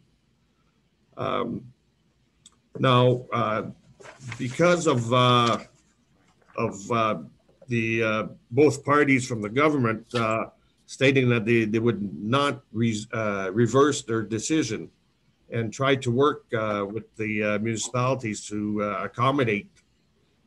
Um, after I've written this uh, this memo, some sort of a memo for you, um, I received an email from the uh, office of the fire marshal saying that uh, they had received five million dollars um, to support fire training and fire prevention, and they actually told us that uh, uh, the 485 plus uh, municipal fire departments uh, would be entitled to a minimum of uh, $4,500 grant towards uh, both fire training and, uh, tra- and uh, fire prevention. Um, on the email that I received uh, directly from the fire marshal's office, uh, uh, they're sta- stating that uh, we're going to be getting $8,100 um, if we, uh, so right now I'm working on uh, submitting the application for uh, that amount. Uh, that would uh, uh, help us with different software module, textbooks for the training. Um, we're going to be looking at the software for fire prevention to be able to uh, uh, keep better records. And uh, so uh, we'll be uh, ut- utilizing uh, this um, uh, this grant as much as we can. Um, so basically, uh, you know, at this time, uh, I don't think uh, a resolution from council will uh, change the, the decision from um, the, the government of Ontario to closing the campus. Unfortunately, um, the uh, the our, the only firefighters from uh, the municipality here that went to the fire college uh, were basically uh, the full times because of uh, their collective agreement. Uh, they had to uh, certify at fire officer two to be able to uh, become uh, first class firefighters. So uh, they, needed um, the uh, courses that were delivered at the uh, Ontario Fire College campus. Okay. And other than that, uh, the volunteers, uh, uh, it wasn't geared uh, to uh, our selection of volunteers. Okay. Okay, Chief, so summarizing all that is that uh, the fire college is already closed. It's Uh, closing on the 31st of uh, March, but it's been closed since uh, last March on account of COVID. That's right. And Yeah. then, um, even though there's advocacy in adopting the resolution, it may not change the powers of authority to revert their decision. And then there's an opportunity to tap into a grant, which is for fire training, fire prevention. I guess the question to you, Chief, um, it may not influence the decision of the government to revert their decision regarding the fire college. But do you recommend that we still endorse the resolution and hope for the best along with other municipalities that have done so? Well, it's going to be up to the, up to council uh, to do so. Uh, Okay. If you do, uh, uh, do go through with the resolution, maybe they'll push the government to uh, give us more grants uh, down the line. Uh, Okay, um, You know, uh, right now, uh, they, they've come up with this uh, $5 million uh, one-time shot. Um, Hopefully Okay. they'll uh, come back uh, later on uh, with some more. okay. So are there any questions pertaining to the resolution that our clerk has read? Conseil Denis? Yes, I'm kind of confused. Are we supposed to, if they have the, uh, the uh, training in North Bay, wouldn't that be less expensive for us? Why would we send a resolution? I'm not clear on that. Well, the understanding from the memo is that training would be more expensive. Is that correct, chief? Uh, See, the, the cost to send a firefighter at the Ontario Fire College was sixty-five dollars for the entire course. Uh, Like uh, for a fire, a volunteer firefighter would have to take firefighter one, it would cost sixty-five dollars for ten days stay at the fire college. He would be uh, lodged and uh, fed there at that price. Now, uh, at the um, North Bay uh, Training Center, it might cost us the, the price of the adjunct instructor to be able to sign them off.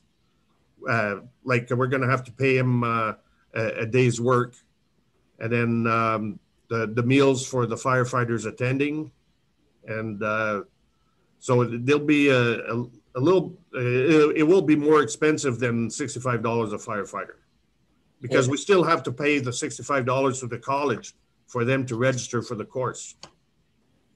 Oh, I see. Okay, thank you for that.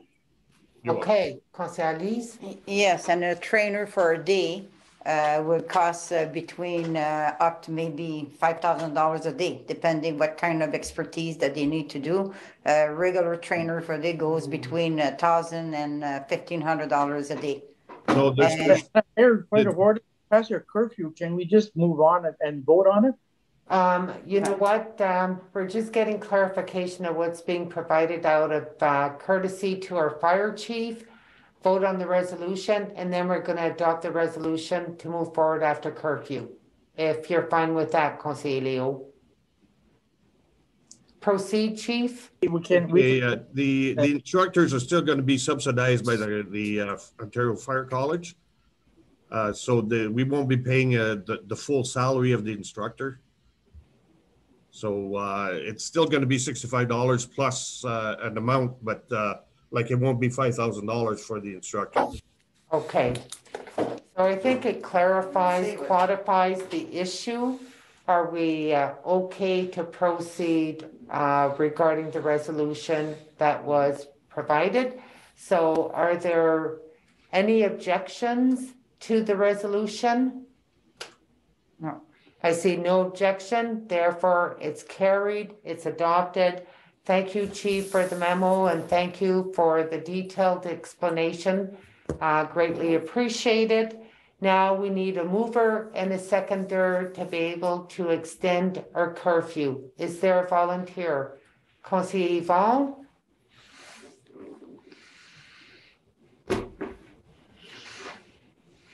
If I don't have a volunteer to extend the curfew, it means uh, there's no resolution. Okay.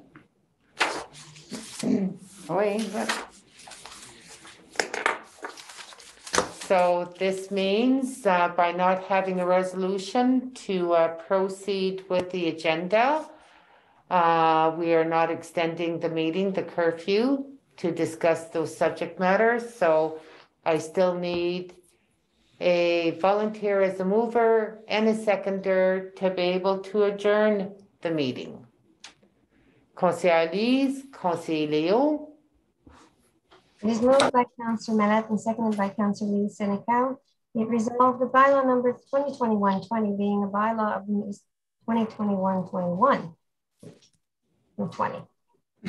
What year is this? 2021-21 being a bylaw of the West Nipissing Municipality to confirm the proceeding of council at its meeting held on the 16th day of March 2021 shall come into force and take effect on the day it is passed. any objections? Carried, adopted. It is moved by Councillor Lise Senecal and seconded by Councillor Leo Malette. Be it resolved that the meeting of council held on March the 16th, 2021 be adjourned. Any objections?